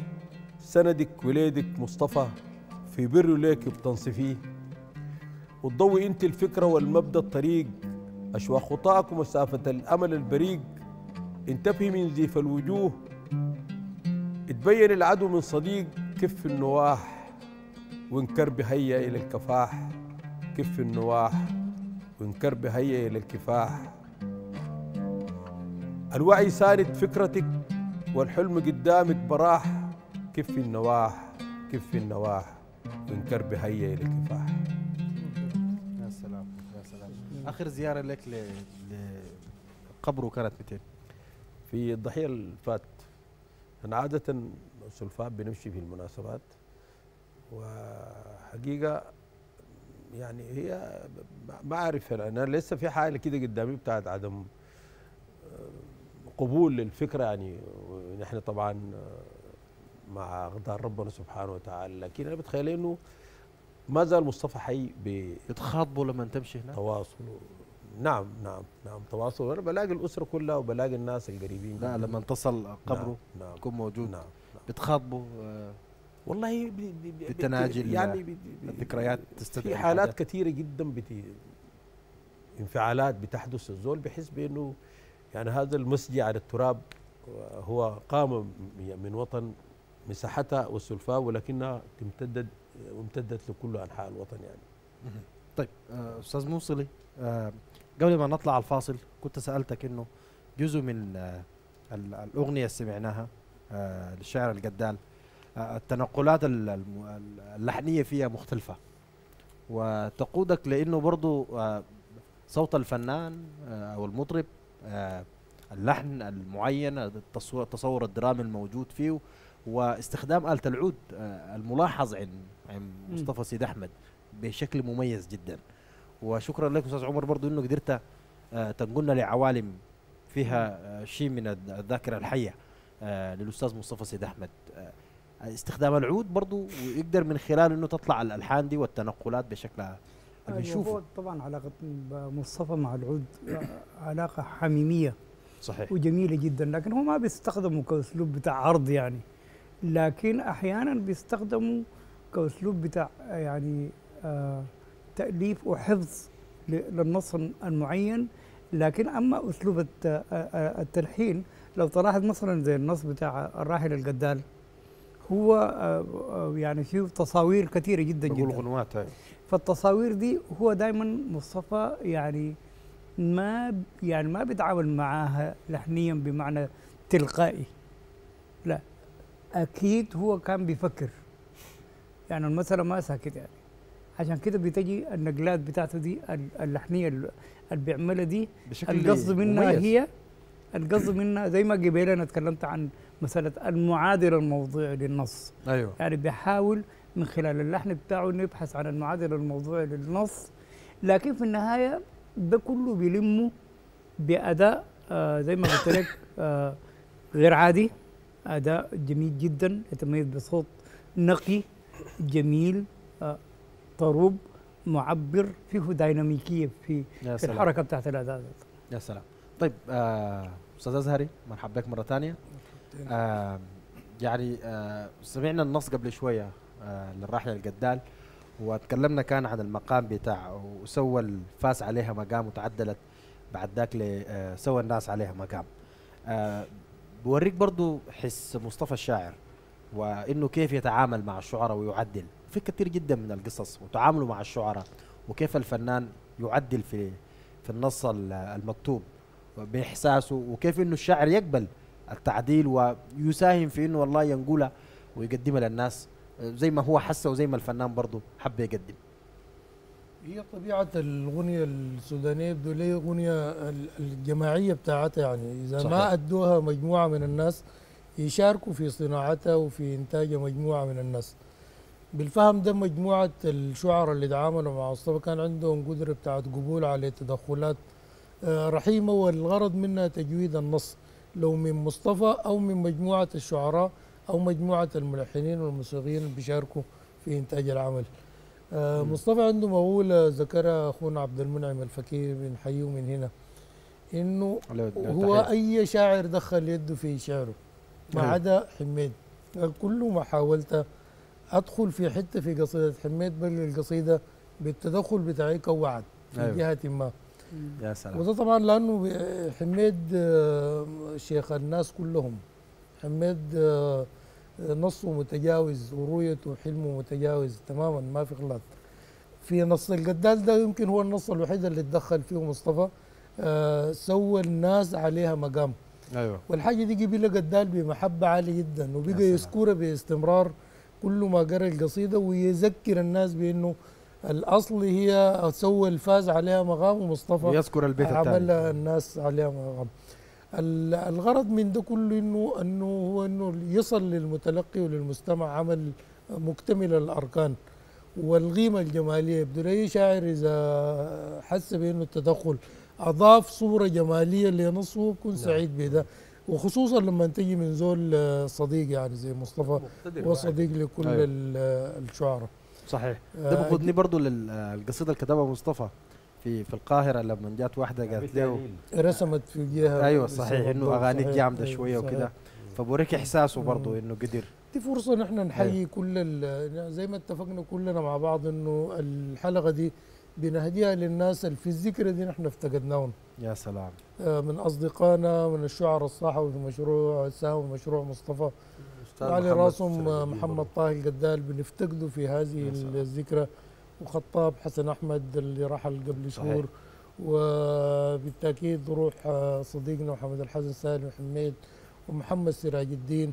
وبنهديها بشكل خاص لل- اللي بنفتقدهم ونتمنى لهم الشفاء العاجل لاستاذنا هاشم صديق واستاذنا صلاح. صلاح حاج سعيد ربنا عجاج. آه، وبدر الدين عجاج ربنا يتقبله. لصديقنا عاطف خيري ربنا يديه العافية. لكل الناس اللي ساهموا في المشروع العظيم ده. التحية والتقدير لكم في 17 كويس. يناير. تذكرت مجموعة من الأساتذة. آه، منهم من بقب ومنهم من آه، رحل بالتأكيد. أنا داير آه، منك طلب خاص آه، على المستوى الشخصي وبرضه جزء من الشباب في الكنترول. عاوزين نتنقل ما بين عديد من آه، المقاطع الشعرية لشعراء. آه، ذكرنا القدال ذكرنا حميد وعاطف خيري وأستاذ قاسم أبو زيد مجموعة منهم ونسمع برضه منك نص إذا ممكن. والله أنا قاعد تعجبني بشدة المطالع أيوه. بتاع صلاح حي سعيد. يا سلام. واللي بيبدأها بطريقة سردية وكانما هو كان بيحكي لك في قصة. يا سلام. داير يكمل لك. اخذ راحتك. فأنا أنا بهدي الحاجة دي لصلاح حي سعيد يعني يلا. صلاح لما يقول لك كان نفسي يقول لك من زمان كأنما في كلام قبل كده يتقال لما يقول وبقيت أغني عليه غناوي الحسرة حسرة والاسف الطويل كده حتى في أغنياته القديمة مثلا الكفاية الوحدة ما بقدر طريقك تاني أمشيه وأصل عمري كم مرة عشان نهدم. عدى فات أو عدى فات أغنياته آه، عنده. قدره بتاعت مطالع عجيبة جدا صلاح حي سعيد. وأيضا للزول المتجاوز بنصه باستمرار صديقنا ال- العزيز والحبيب جدا عاطف خيري. له التحية. صوره الجمالية العظيمة. يعني لو جبت أي شاعر عشان يكتب لك يا فرس كل القبيلة تلجمه يكسر قناعاته يفي رزقي مع البدو في الخلا. ما يرضى غير الريح تجادله وتقنعه. ما بتلقى زول يكتب لك الكلام ده إلا عاطف خيري. ربنا يديه العافية ويرد غربته لكل الأصدقاء في كل المنافي البعيدة واللي تخطفتهم الضفاف العوده للوطن. وإن شاء الله لما تجوا أنتم بمساهمتكم نكون نحن أقمنا وطننا اللي بنحلم به يومات إن شاء الله. صحيح القصيدة دي بقت ايقونه من أيقونات. تفضل. أستاذ مدني. والله أنا بيحضرني هنا عبد العال السيد. يا سلام. الدنيا ليه الغربة ومطر؟ يعني برضو عبد العال السيد يعني الغربة أو اللي هنا يعني السفر أخذه كثير جدا جدا. لكن برضو عنده أغنيات يعني آه، إذا افتقدتك أغنيات لغير مصطفى سيد أحمد. إذا افترضنا برضو مصطفى سيد أحمد عنده تاني من بعد ما عز المزار وكذا. أيوه. الدنيا الليل غرب ومطر؟ عبد العال برضو أنا بتخيل إنه لو كان قريب من مصطفى هو كان قريب من مصطفى فعلا وزي في إشكالية بينه وبين مصطفى والموصلي يعني. هو كتب لي نص وقام الموصلي ه- لحق شاله مصطفى لا قال لي ما تخليه دخلت فيها طلاقات وبتاع. المهم في الآخر عبد العال السيد من هنا بنحييه والله له التحيه مشكور. مشكور اسهري يعني. استعرض الناس كلهم احتمال يكون ما سقط سهوا لكن أنا معلش لا يعني. والله ما بيسقط. ما سقط سهوا، لكن التحية ذاتي قصدت الشكر أيوة. على تستذكروا الذكرى صحيح. كل الطيبين يعني لهم كلهم. صحيح. تحية لهم لهم كلهم. لكن أنا التقطت حاجة من كلام أستاذ اسر ومن كلام أستاذ مدني. آه كثير جدا من آه قصايد مصطفى الغناها بالتأكيد بنشاهدها عند جيل اليوم وحاجيك لا أستاذ عمر. آه بنشوفها في جيل اليوم خاصة في المواكب العظيمة اللي بتنافح دائما على الخير والحق والحقوق والعدل ودولة السلام والحرية والعدالة للشباب وجيل هذه الثورة العظيمة. آه مواكب عزت شفنا كثير جدا من آه، القصائد بقت أيقونة. هل ده كان تنبؤ آه، لجيل اليوم؟ شنو تقدر تفسروا الأشياء دي أستاذ مدني؟ والله يا أخي أنا دار أقول لك هو مصطفى ده ما كان مهموم بالثوره دي ذاتها. وبعدين زمن باكر؟ أي يعني هو عنده رؤى متقدمة جدا في فهمه للجاي شنو. وكان عنده قناعات قوية جدا. يعني هسه الناس ما بين الشك واليقين مرات يقول لك يا أخي الناس دي ممكن تحصل كده والناس مصطفى ما عنده الكلام ده. قاطع. إنه. حتما حتنتصر إرادة الإنسان. تلقى الطفل الصغير يعني شايل لافتة ما باكر يا ممكن. حليوة. أيوه. يعني ما في وأنا في. كلام قاعد أقوله الناس بيعقدوا مقارنات بين الأغنيات اللي انتجت لثورة ديسمبر والأغنيات اللي انتجت لأبريل ولأكتوبر يعني. صحيح 64 أنا بقول 85 إنه اكتوبر وأبريل مجدت الأغنيات لكن ثورة ديسمبر صنعت الأغنيات. بمعنى. سبقتها بمراحل كثيرة. وبالتالي يعني حق لنا نقول إنها هي ثورة ثقافية ثورة بتاع التراكم بتاع وعي. نعم. مستمر ساهمت فيه القصائد والأغنيات. بالتأكيد الأنماط الفنية الثانية التشكيليين والمسرحيين وناس كثيرين كانوا مهمومين برفض الوعي الجمعي ده بمساهمات صح. ملكت الناس أدواتها. لما جات للتغيير جات هي واعية وعارفة حجم التضحيات اللي حتقدمها مهر لثورتها العظيمة. عشان كده الأرواح والشهداء اللي قدموا أرواح ربنا يتقبلهم والمصابين ربنا يشفيهم والغايبين ربنا يعودهم التضحيات دي ما حتروح ساعه يعني صح أنا تذكرت هنا حاجة أستاذ باستمرار ما. ما بتروح شمار في. مرق يعني أنا بطريقه تذكرت حاجة هنا في. كلامك. وشفت المشهد بتاع آه، الطفل في الترس وهو بيفتش الأطفال يا فاطمة أو يا فاطمة بغنوا بغنوا صحيح بتشوف المشهد ده وكأنه ما الافراح لابد من ترجع صحيح. أنا أيوة. عندي أطفال صغار عمرهم أربع سنين بيلقوا أصحاب اخوانهم في أيوة. الشارع بيقولوا لهم قوم يا عاطل خش الموكب أيوه يا سلام يا سلام. لل- للناس كده بيفتكروا حتى القعاد في الشارع ضياع للوقت ضياع يعني للوقت، ده ما نعم، وقت. تقعد في الشارع يا يعني سلام. يكون عندك دور طبعا يعني حالة الوعي فهي الحاجة دي مشت. وتمددت وما في تاني ما بتجي حالة فيها الوعي اللي صاحبت هذه الثورة أنا يعني بتخيل إنه في أكتوبر وفي أبريل يعني زي كان الناس بتواضع شديد جدا جدا بيتعاملوا مع الأشياء لكن أسي الناس بتنتزع بعدين يا. مي يا. مدني الناس نعم. صنعوا ثورتهم وانصرفوا في ال- في الثورات اللي فاتت أيوه. الثورة دي محروسة استمرت وما حد ما حد حيصرفوا. حتخلص إلا بالانتصار أيوه،. يعني بتخيل كده والله. بالمناسبة في حاجة مهمة جدا أنا ما ذكرتها في أيام نحن في التجمع الوطني الديمقراطي في القاهرة. التسعينات وكان اسمنا آه، الاتحاد الشرعي للفنانين السودانيين. أيوة. كانت كل حاجة شرعية شرعية شرعية. يعني القيادة الشرعية كذا الشرعي كذا الشرعي. مم.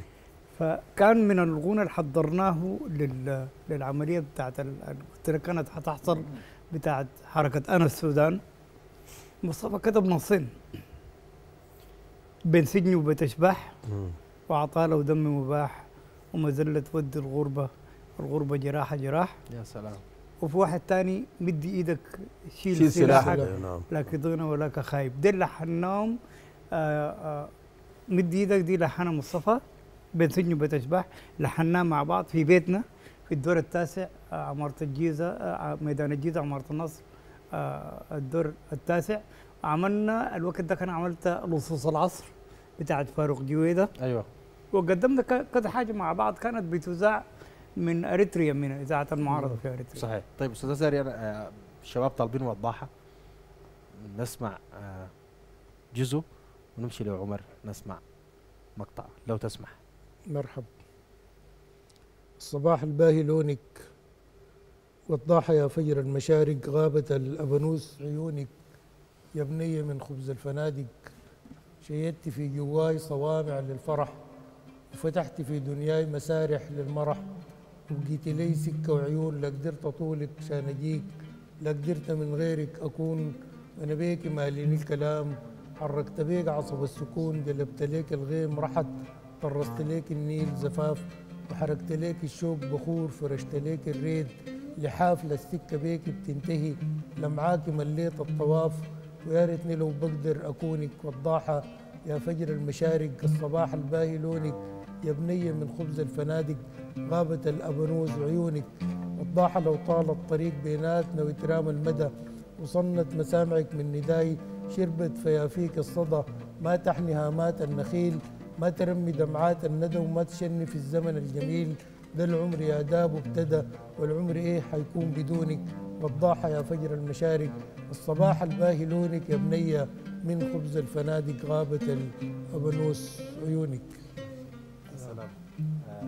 هل فعلا لقت حظها من الانتشار بشكل كبير؟ هي أنا؟ باستمرار قاعد أقول إنها هي قصيدة محظوظة؟ وبالتأكيد هي اي قصيدة يغنيها مصطفى هي قصيدة محظوظة يعني. أيوه.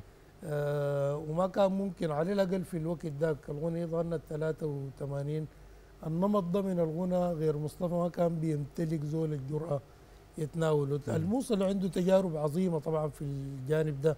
اختراعات في مسألة اختيار النص الشعري مم. من الأمان السندسية آه ول- أنت لي. أنت ليا والغنية اللطيفة بتاعت عبد العال السيد وينك أنت؟ وينك وينك أنت؟ طال وينك؟ غيابك.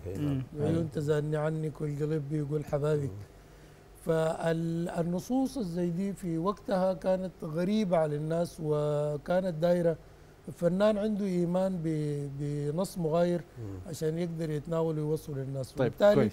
أي نص صادف الأصوات الزي دي نفتكر إنه نص محظوظ يعني. طيب. كان ممكن يظبط سهوا صحيح. أنا ده رزق الاستاذ موصل عشان ماشي لعمر. آه، سؤال بين ال... آه، يعني الأساتذة الاثنين الكبار بالتأكيد. إنه كيف بتعاينوا لقصايد بعض لما تكون عند مصطفى سيد أحمد؟ وإنت بتجيك اللحن بتجيك القصيدة بتعاين القصيدة جاية من أستاذ عبد العال السيد أو الجاي من أستاذ أزهري أو أستاذ مدني أستاذ قاسم. كده. كيف بتعاينوا للقصيده دي؟ بعين الملحن وبعين الموسيقي والموسيقار يعني. أنا ب... أنا دائما بقرأ النص ودائما بضع له طوالي خطة لحنيه. بعد ما أقرأ النص. أيوه. يعني بعرف المنطقة بتاعت الفكرة الفكرة الأساسية وين. التطور بتاع اللحن ماشي على وين الختام ماشي على وين بقوم بضع خطة معينة وبعملها يعني مثلا يع- يعني مثلا في أغنية للكتيابي على. بابك آه. آه، عبد القادر الكتيابي نحييه من هنا برضه يعني آه، من الأغاني اللي أنا عملت لها فعلا خطة لحنية آه، كبيرة جدا اسمها يا مستطاب لو سمعتوها. عاجقك مثل العطشان وهاتي ريحته لجرعة رهاب ما بتلحق. كم مرة طاب قال يصحى من سكرة هواك. حاجة زي كده. المهم أنا بفتكر إنه آه أن إحنا الاتنين أنا أنا والراحل مصطفى نظرتنا للنص آه في بعض الأحيان تلقائيا بنشتغلها مرات بنكتب الفكرة اللحنية يعني مثلا مصطفى اللحن بتاعه عنده شريط زي ما قال آه، الأستاذ مدني. عنده شريط بتاع أفكار لحنية. أيوه. شال من الأستاذ الصهري شال من منو شال من بيعمل فكرة صغيرة وبيخدها بيجي يرجع لها تاني ويسترسل. أنا عندي نوتة. حتى لو راكب أي عربية راكب باص أي حاجة بطلع بعمل سطرين ثلاثة بكتب الفكرة اللحنية. هي نفس الفكرة بس. أيوه. دي نوتة هنا وده شنو؟ آه مسجل. أيوه. وباخدها في جيبي لما نصل بكرة بعد بكرة بطلعها وبعمل الحاجة الدار أعملها لكن في النهاية أنا بفتكر إنه الش- الشغل اللي, اللي تم بيني وبين مصطفى في الحزن النبيل والبت الحديقة هو بيشكل علاقة حميمة جدا من التعاون الفني وأشهد انه مصطفى الأمانة السندوسية أبداً. برضو لهم طبعا غنى الأمانة السندسية أغنية جميلة يعني ما في كلام. لكن أنا بتكلم عن عن الأعمال اللي لحنها مصطفى وأنا تناولتها النبيل أيوة. بالتوزيع والتنفيذ الموسيقي. أصلا في الشريطين ولا نوتة موسيقية واحدة من الإضافات اللي أنا أضفتها طلب إنها تتغير. لأنه كان عنده إيمان وقالوا لناس معاه في الدوحة ولا وين قال لهم المثالي اللي أنا كنت آه وقال عنه. العيش لخبازه. شوف المفهوم الراقي عند الإنسان العارف المتعلم الواثق من نفسه يعني. يا سلام. آه، أستاذ عمر آه، يعني الأساتذة مشوا بينا لنقاط متشابهة وقريبة جدا من الحس الوجداني وتعبر بشكل كبير عن حب الناس لمصطفى سيد أحمد وخاصة آه، لما يكون جيل بالقدر ده من الإبداع آه، ويأسس ويبدأ مع فنان زي مصطفى سيد أحمد يقدموا مشروع للسودان الكبير.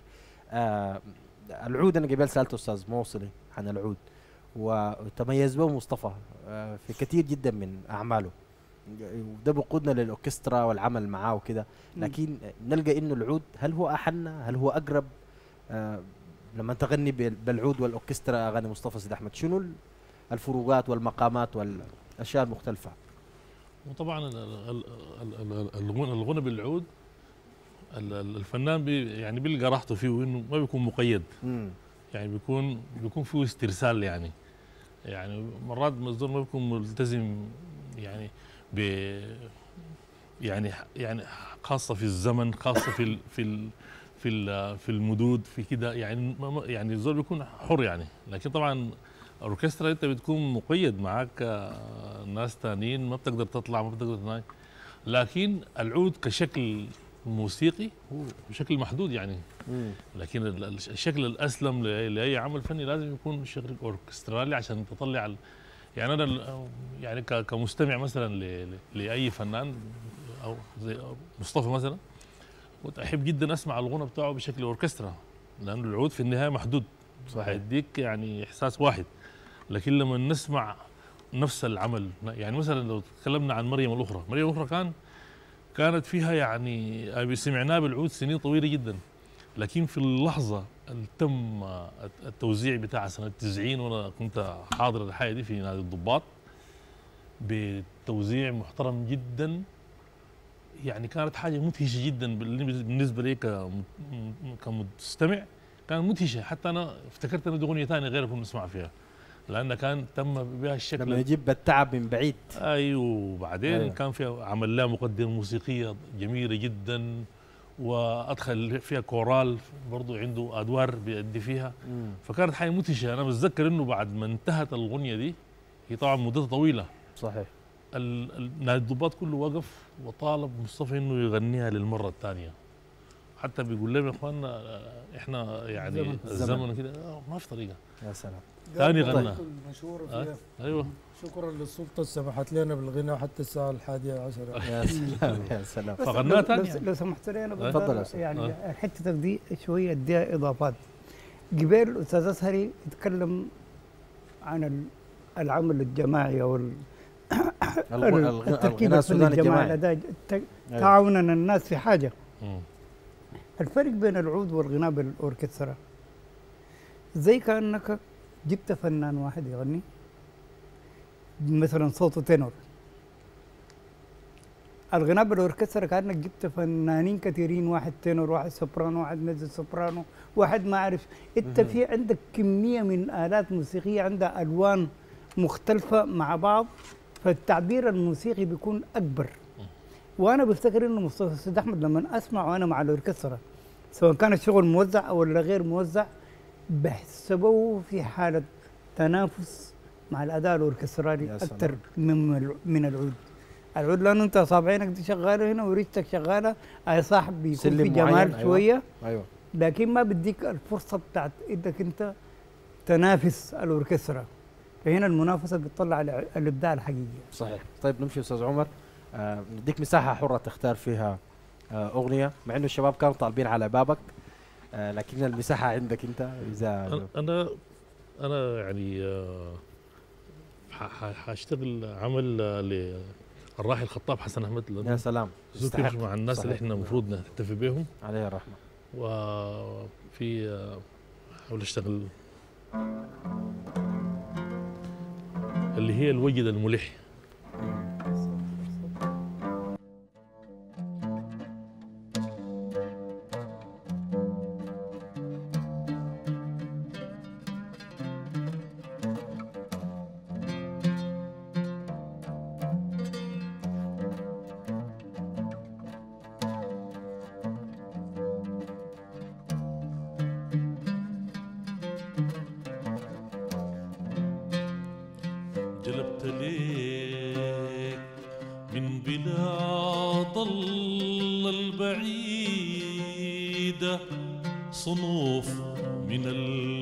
الوجد الملح جلبت ليك من بلاد الله البعيدة صنوف من الوجد الملح جلبت ليك من بلاد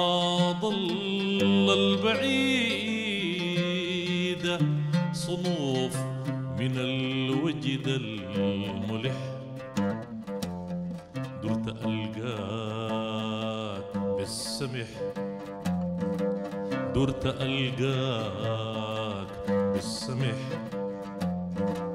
كنت أصطاد في الظهيرة من مناقير الكنار.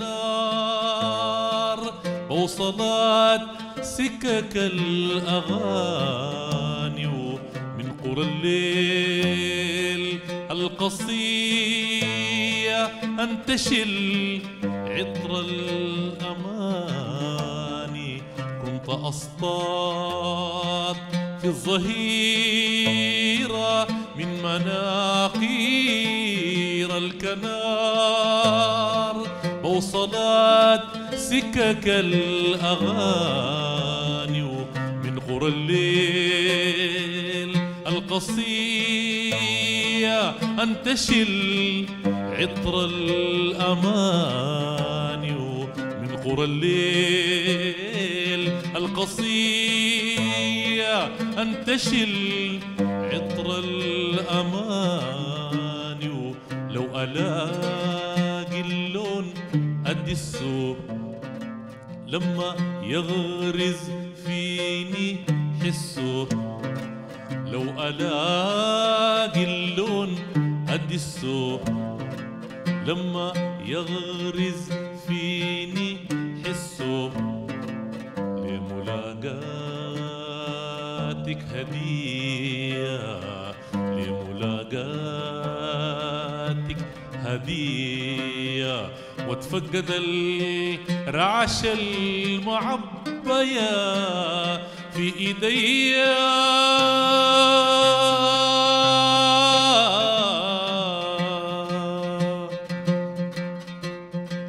جلبت ليك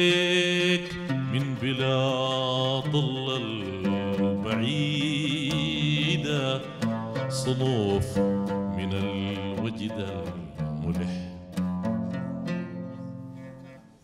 يا سلام يا سلام. آه، خطاب حسن أيوة. أحمد عليه الرحمة. الله يرحمه ويغفر له. آه، تحية لأسرته. أستاذ مدني آه، الكلام كان قبل شوية عن آه، نادي الضباط وعديد من ال- المهرجانات اللي كانت موجودة. ده بيقودني لي سؤال مصطفى سيد أحمد على المسرح آه، قدام الجمهور. يعني مم. تكلمنا كثير عن التسجيل وعن الريكورد وعن شكل الأغنية والنص واللحن لكن آه، ماذا عن مصطفى على المسرح مع الجمهور آه، التعامل يمكن في الدوحة شفنا عديد من على اليوتيوب وعلى نعم. كثير من الوسائط عديد من الحفلات كانت موجودة آه، في الدوحة خصوصا يمكن على الخرطوم ما في آه، أغنيات أو آه، مهرجانات مسجلة كثير ما موجودة يعني على مستوى ال- الداتا لكن على مستوى الدوحة موجودة يعني نعم. بكثرة والله هو الجمهور انت قلت تعامل الجمهور مع مصطفى كيف؟ الناس بيجوا بشوق مم. ل... ل... لاستماع. أنا ب... أنا مصر على حالة الإنصات العالية جدا. أيوه. اللي قاعد مصطفى يعني يتقاسموها معاه جمهور يعني. الناس هناك درجوا يعني أنا أنا كنت ب... يعني بتخيل إنه حفلات ام كلثوم في القاهرة يعني. مم. الناس درجوا على إنه في حفله لمصطفى سيد أحمد في الدوحة طيلة فترة وجوده هناك.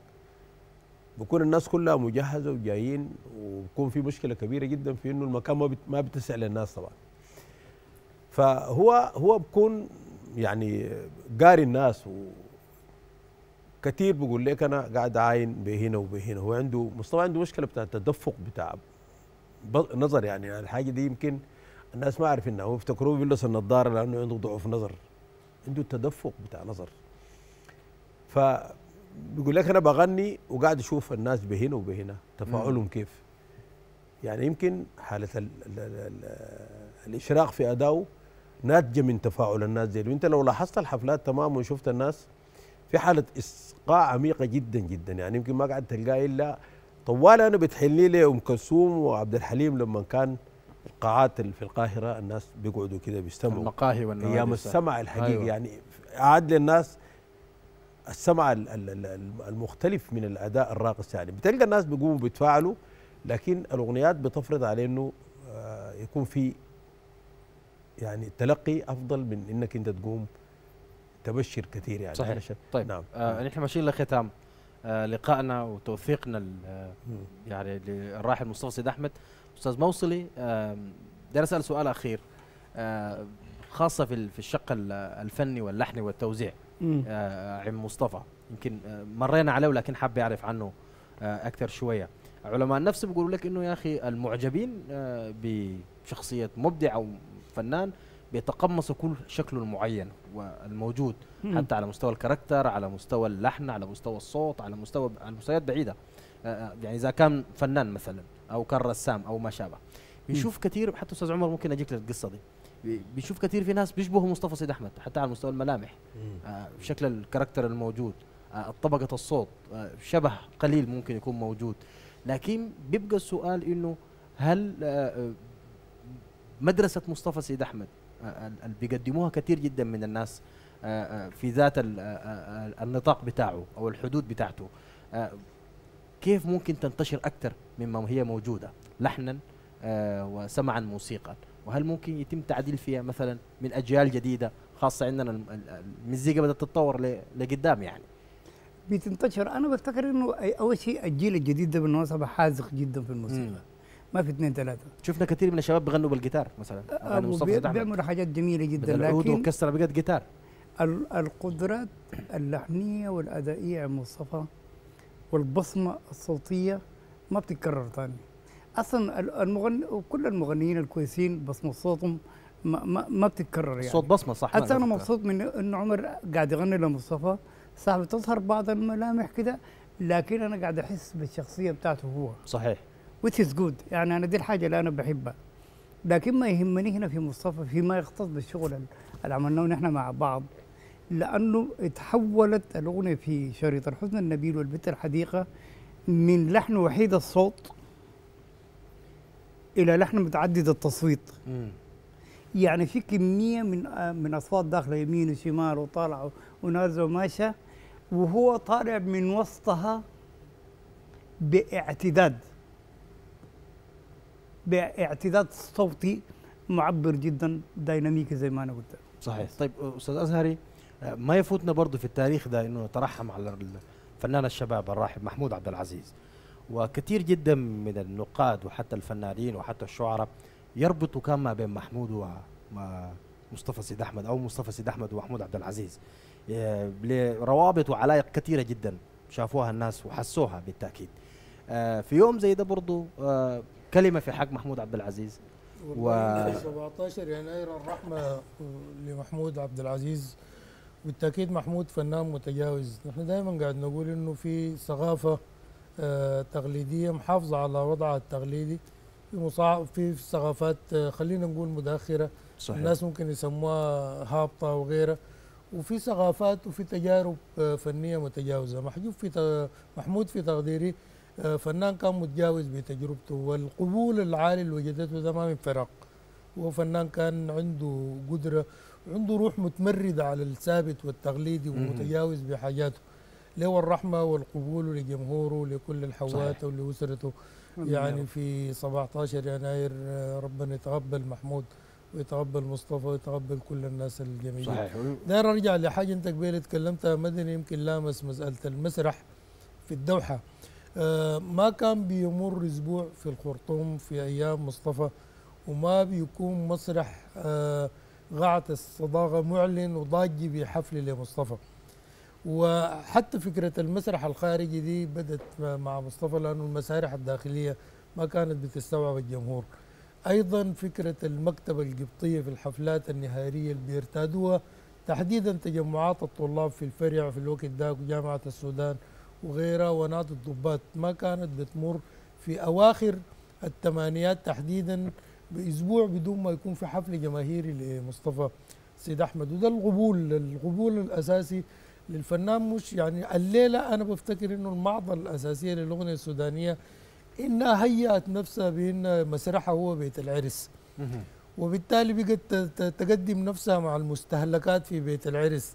الأطباق والغارورات الفاضية والأغنيات أيضا تجمع في آخر الحفل وتترمي يعني.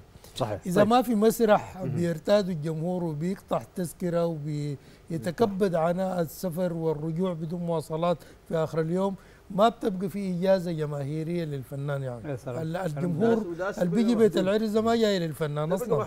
جاي لأسباب متعددة تانية جاي ويسلم الجمهور. الأساسي هو اللي بيقطع التيكت ده وبيجيك في المسرح ويتحمل أعباء الرجوع في أوقات متأخرة ودي, يعني عملوها فنانين آه، كبار وجدوا وجدوا. حضورهم نعم. نعم صحيح طيب أنا في المساحة الأخيرة دي آه، شاكر وسعيد جدا بأنه كنت في حضرتكم ونقلتونا لأسرار وخبايا آه، زي ما وعدنا المشاهد في الأول إنه خلونا نتفق على إنه يكون توثيق مختلف. آه، ده أديكم مساحة أخيرة في آه، دقيقة أو أقل. ده بك أستاذ مدني. آه، رسائل في بريد مصطفى سيد أحمد. والله أخي الرسائل ما انقطعت. نحن يوميا على الهواء مباشرة. آه، ما نحن يوميا مع مشاهداتنا للواقع يعني قاعدين؟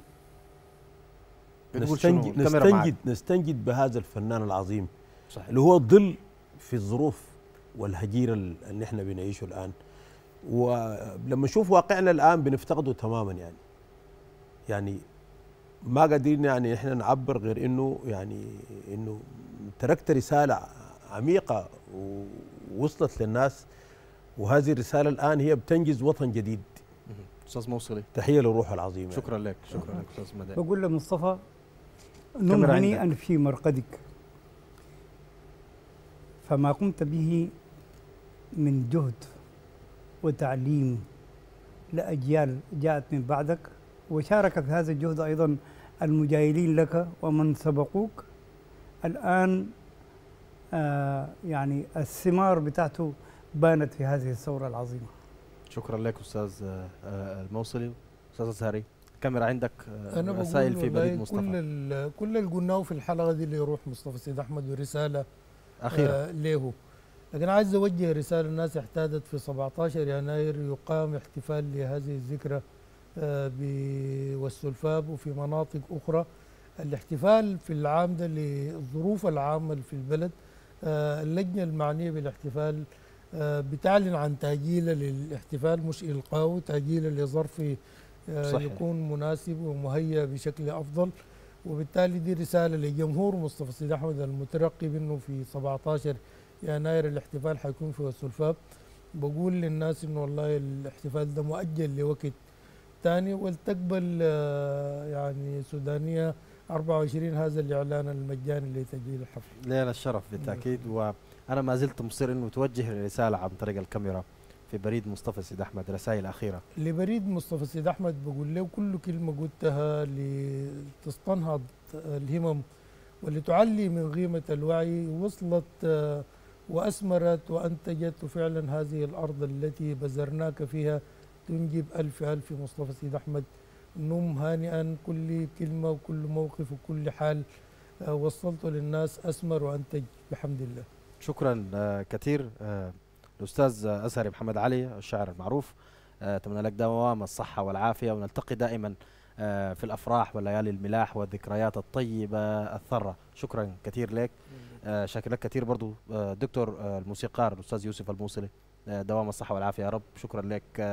الشاعر الكبير أستاذنا آه، مدني النخلي. كل الجمال والحب. والتحيه لك ولاسرتك بالتأكيد ولكل اسركم ونتلاقى دائما في الأعياد إن شاء الله. أستاذ عمر خليل شكرا لك كثير. عطرت ال- الجو وذكرت عديد من ال- المساحات اللحنية الفنية التي دائما ما زالت في البال وفي الخاطر وتمتد لكل من هم في الداخل وفي الخارج ولهذا المشروع آه، الكبير والفسيح آه، لمصطفى آه، سيد أحمد والذي آه، بعد كل عام وبعد كل جيل نرى مصطفى جديد ونرى أمل جديد ونرى آه، حب وخير آه، من خلال هذا آه، المقام وهذا آه، الجمال لمصطفانا. كما يحلو لمحبيه ومعجبيه. آه، أستاذ عمر المساحة الأخيرة عندك ونسمع عندك الختام. آه، أنا. آه، يعني أنا في في في في أتذكر بعد وفاة مصطفى كان في كم هائل من الناس كتبت أشعار وال في في مش في الوقت ذاك ما كان في ميديا كان في في الصحف يعني. أيوه. فكان في زول أنا ما أنا ما متذكر اسمه. كتب كلام جميل جدا شعر يعني. أنا دائما قاعد يعني أتذكره يعني. قال آه، مصطفى المصطفى من مرمر الأضواء والطين المبارك من عيون الشمس والحلم الخرافة. شكرا لأن لأنك أهديتنا وطنا بكل مساحة الدنيا. وهذه كان مدخل ل- لقصيدة طويلة لكن حفظت المدخل بتاع ده. ونسيت اسم الزول يعني مع طول الزمن الكلام ده أكثر من 26 سنة فنحييه صاحب ال- ال- الكلمات الجميلة دي يعني. صحيح. شكرا كثير وتصبحون على آه، ألف خير وعلى واقع أجمل لوطن آه، أكبر آه، وطن خير ديمقراطي في أمان الله. مع السلامة.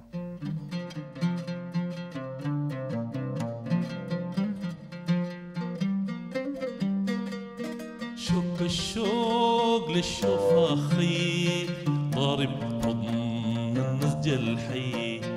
شوك الشوق للشفاخي ضارب حضن النسج الحي. يا منقاش وأحزان انشرت. وادي الفرح يتمدد صي يتمدد صي.